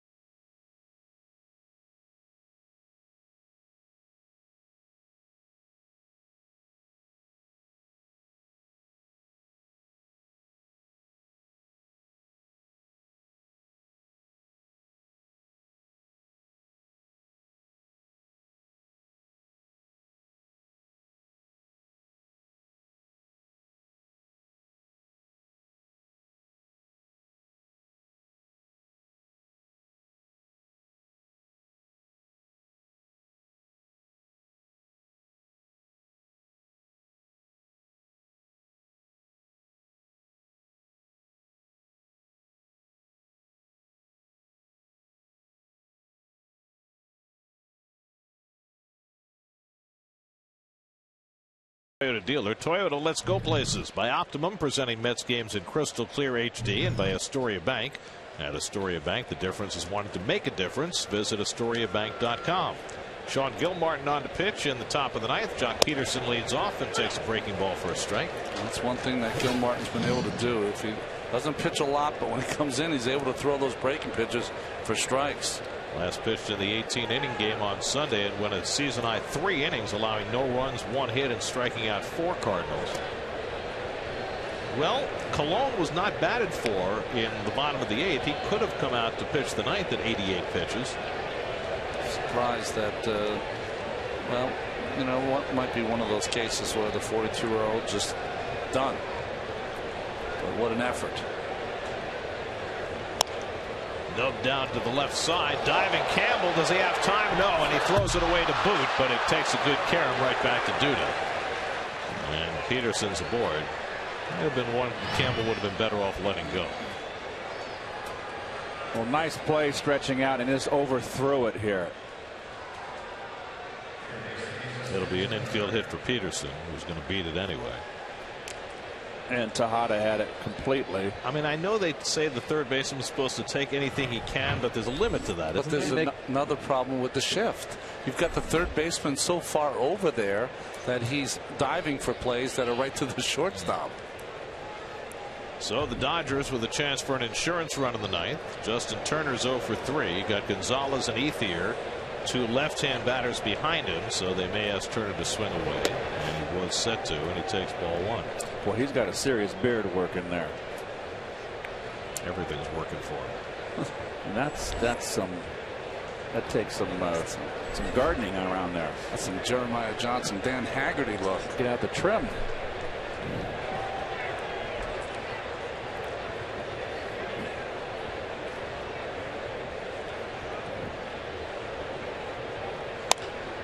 Justin was a guy who always had a good time here. And he. He's having a better time there. Well, we always said on the air when he was here as a Met, he knew how to play the game. He's a good base runner. Doesn't can play all the infield positions uh, outside of. He did play a little first base. An emergency. He, he's he's a solid player. Yeah, not a great defender at any position. Didn't have much range, but he was adequate. But he's become a better hitter as he's gotten more opportunity. And he has been very outspoken about the strides that he made listening to Marlon Byrd's theories on hitting, getting the ball out front more. Now looking to push a bunt, and he fouls it off one two. Oh, that's smart to play for a run here.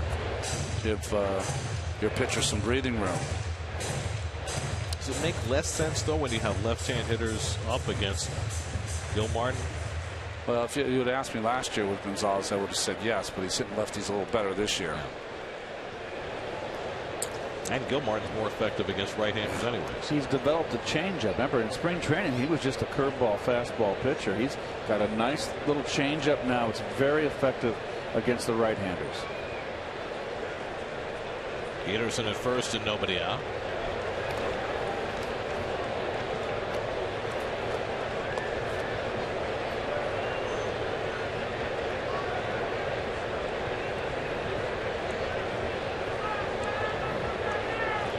eight allowed one run, five hits, no walks, four strikeouts, a hit batsman, and a Jimmy Rollins home run. Some things just never change.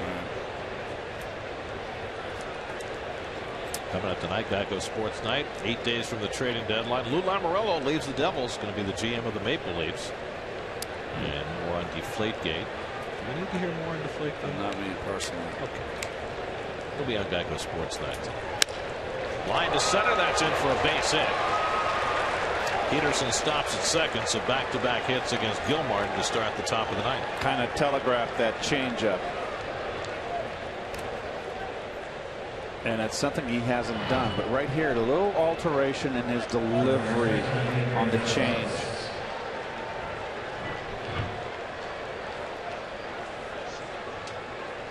And you can definitely see that as a hitter. You always want to disguise your pitches, and the only way you disguise your pitches is to have the same point of release, same motion, same arm speed. And, and the changeup is not as effective, Keith, against a hitter like Turner who protects so well with two strikes. Carlos Torres up in the Mets bullpen. Gonzalez two for three tonight.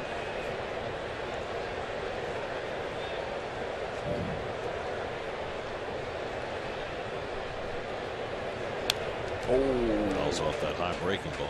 you saw the reaction. Gonzalez had the same reaction that I had in the booth. oh, I've been there. It was a hanging breaking ball that he missed. Pittsburgh's jumped out in front big time on Washington.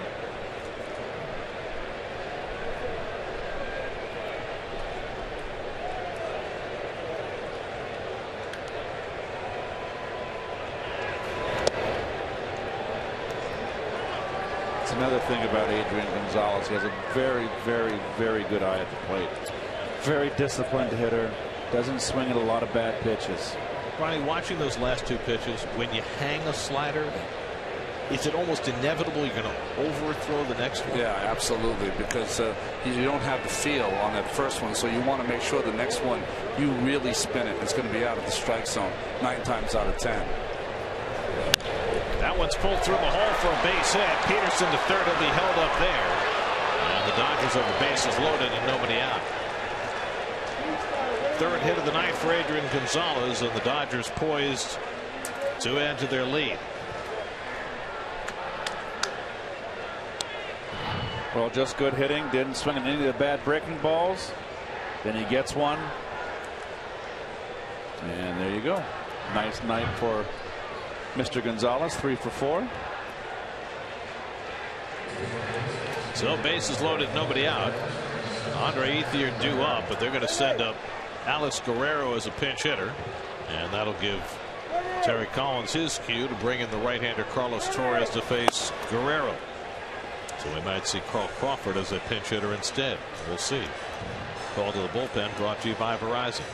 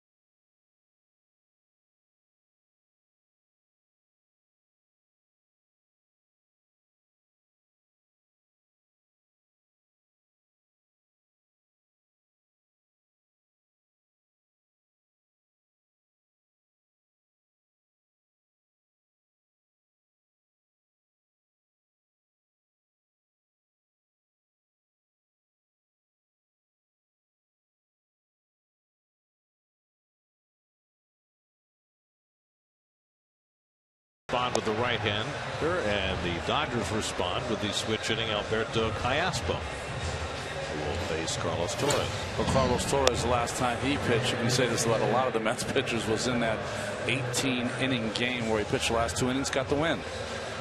Callaspo as a pinch hitter this year, six for 25. SNY Super Slow Motion is brought to you by your Mercedes Benz Tri State dealers. Visit them on the web at searchmercedes.com. That moment will live for the rest of the night at least. So here's Callaspo trying to break this game up. Dodgers up 1 0 in the ninth. Mets have to bring the infield in. Pederson at third, Turner at second, Gonzalez at first, and nobody out. Callaspo acquired from the Braves earlier this year in the deal that sent Juan Uribe to Atlanta.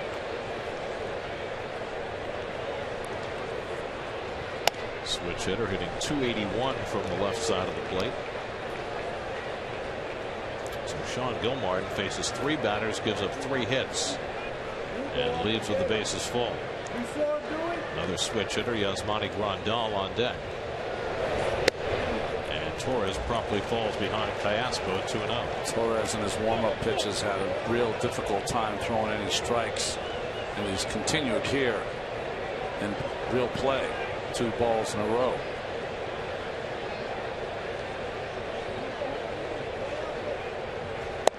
And a check swing. Did he go? He did not. And now it's 3 0. And oh. Gonzalez with the call at third. And I don't believe he went. Well, time to throw a strike. It would be nice. And he missed badly for ball four to force in a run, and it's 2 0 Los Angeles. A four pitch bases loaded walk. Pederson comes in, and the Dodgers have their insurance run and now poised for a whole lot more.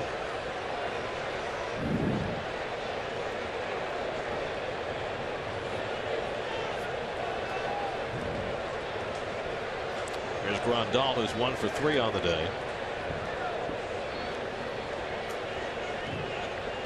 Turner now at third. Gonzalez at second. Callaspo at first. And that's five in a row out of the strike zone from Carlos Torres. And that'll get him a visit from Recker. Well, the Mets' task was steep enough.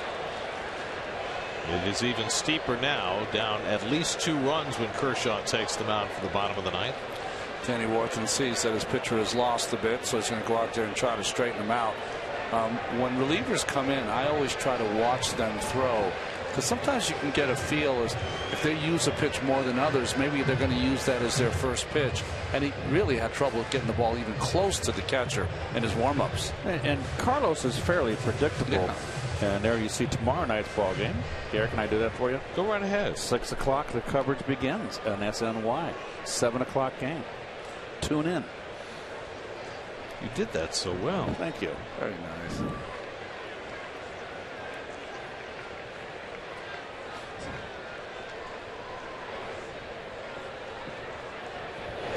That oh. backstop. It comes right back to Torres, though, and the runners will stay put. Wow.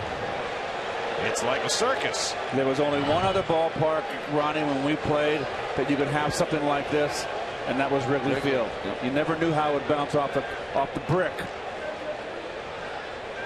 Well, good base running by Turner to realize it. Having played in this ballpark as much as Justin has, that certainly helped him. The problem with that is that Turner is trying to go, and that starts to get everyone on the bases going. So good job by all the base runners. Yeah, Adrian Gonzalez was halfway to third base and really had to scramble to get back. Meanwhile, six in a row out of the strike zone, and that one missing worse than any. And Grandal swinging it at the 2 0 pitch and fouls it off. And that draws a sarcastic roar from the Citi Field faithful. That's the equivalent when the goalie has let a, a lot of shots in the net and he finally makes a save, right, at the Garden.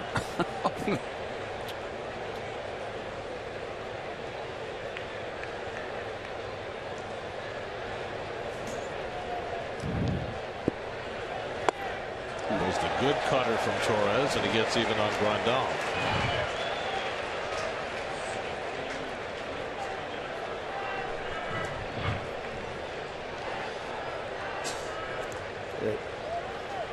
Yasiel Puig waiting on deck. 2 2. And he struck him out. So Torres bounces back to strike out Grandal for the first out of the inning. I don't think he threw him a strike the entire time, but Grandal kept jumping at that cutter. Pirates just tacked on two in the bottom of the seventh. They lead the Nationals 6-1 going to the eighth. And that's good news for the Mets. Meanwhile, Puig steps in with the bases loaded and one out. Puig one for three today. Took a call third strike from Colon his last time up. Bartolo was very, very solid for eight innings tonight. There's Puig chasing the curveball, nothing in one. Well, this was the scouting report on Puig. Went over and talked to the Dodger TV is Alex Torres up in the bullpen. Uh, but Hershiser, Orel Hershiser, and Nomar, Nomar Garciaparra, and they said that Puig has just been chasing bad breaking balls, can't handle the outside corner. Flies this one out to right. That'll get a run home. Tagging at third is Turner. Granderson makes the catch. Turner walks on in. Over to third goes Gonzalez. Sacrifice fly for Puig makes it 3 0 LA.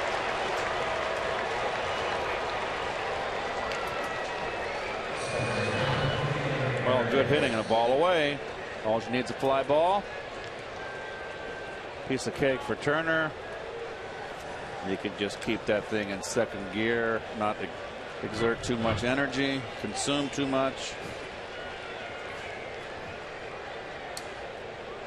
So two out runners at the corners, and now Kike Hernandez, who is 0 for 3 tonight. Well, down three at least to Kershaw, who's going to be bidding for a complete game shutout. Mets will have the pitcher spot. Granderson and Tejada due up. Going for his second complete game shutout. Three starts. Shut out the Phillies. Two starts back. Oh, Now remember, in, I think the horses have left the barn. in St. Louis, they did it. They startled me that, that first game, and then they did it in the second inning. Tops one foul.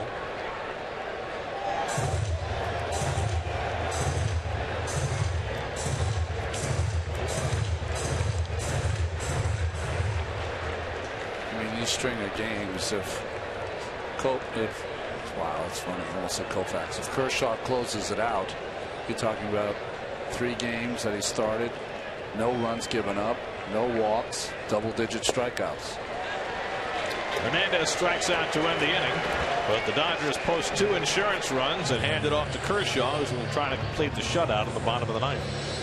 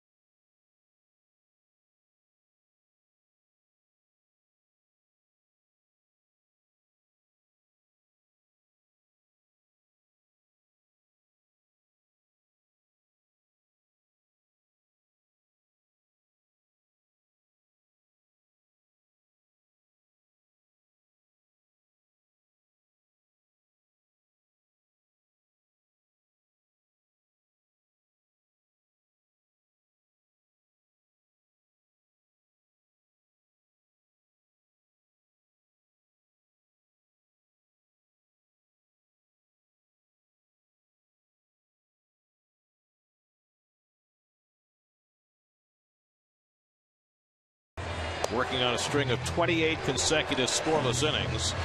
Tries to complete the task tonight. You got Greinke, who's trying to run down Orel Hershiser's record of 59. He could do that in his, his next two starts. You got Kershaw sneaking up behind him, 28 straight scoreless innings. What a monumental accomplishment these two are putting together. Meanwhile, Kershaw, his last three starts, including this one, 25 innings, 14 hits, no walks, 37 strikeouts. Daniel Murphy will pinch hit to start the bottom of the ninth. Murph takes a fastball for a strike. He pitches a game I'm unfamiliar with. He's been good. Murph had a couple of hits yesterday in Washington. Got the night off tonight. No longer. And he takes the curveball down for ball one. Curtis Granderson, who had the first Met hit in this game in the seventh inning, is on deck. And then Ruben Tejada. If anybody gets on, Wilmer Flores.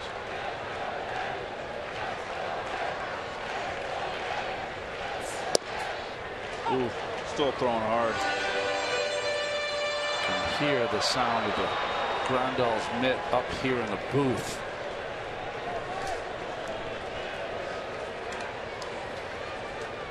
One two. And Murphy lays off the cutter. Two balls, two strikes. Kenley Jansen will stay ready in the Dodger bullpen just in case. Kershaw bidding for his second complete shutout, complete game shutout in his last three starts and the 11th of his career. This is with a curveball, and he runs the count full to Murphy. Mets about the leadoff man on each of the last two innings. Kershaw retired the first 18 tonight before Granderson led off the seventh with a hit. Mets would get two hits in the seventh, leave them stranded. They got a leadoff hit from Duda in the eighth, but he was picked off by Kershaw. And that's what Kershaw's done these last three starts. 3 2 to Murphy. And he fouls it off. The last time Kershaw gave up a run, it was the last time he faced the Mets in the fourth inning back on July 3rd. Since then, 28 straight scoreless. I don't think you'll see a different pitch with a 3 0 lead, 3 2. It's going to just challenge Murph. And Murphy, with the half swing, able to somehow foul it off.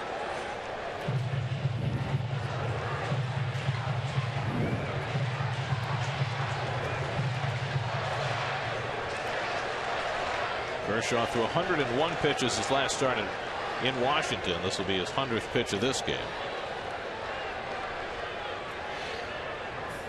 And Murphy hammers one to second. Hernandez throws him out one away. Well, it's rare you get a pitcher with a three to one strike to ball ratio. Last time we used to see that all the time was Johan Santana used to do that in his prime.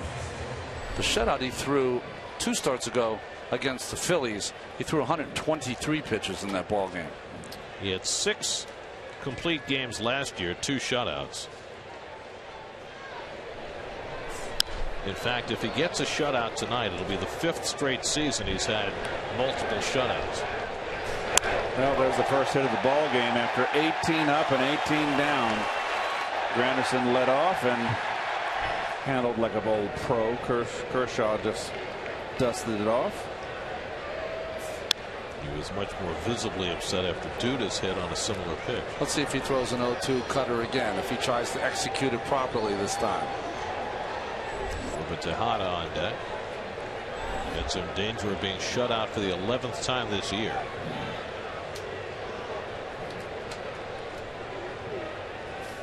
And Granderson tries to lay off, but he went around strike three. And Grandal slaps the tag on him. Two down. 11 strikeouts for Clayton Kershaw. That's what he wanted to do in the top of the seventh. That pitch right there. Yes. Very good run. Absolutely. And so the Mets are down to their final out. The Dodgers have already had 14 shutouts this year. And Kershaw trying to do it by himself for the second time. Tejada has a 10 game hitting streak on the line.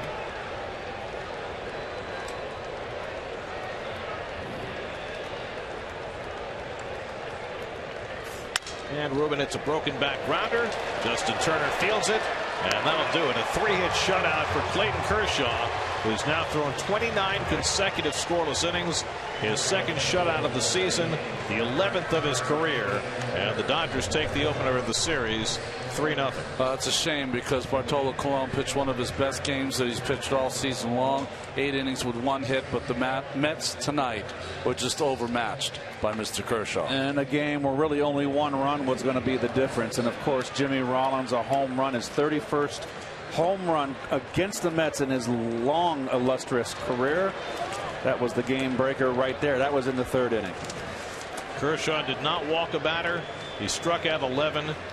He's fanned 38 batters and walked none in his last three starts. He's thrown 29 consecutive scoreless innings, continuing to reestablish himself as the best pitcher in baseball, and he certainly was that tonight. Perfect through six, winds up with a three-hit shutout. Dodgers win at 3 0. We'll come back with more from Citi Field in just a moment.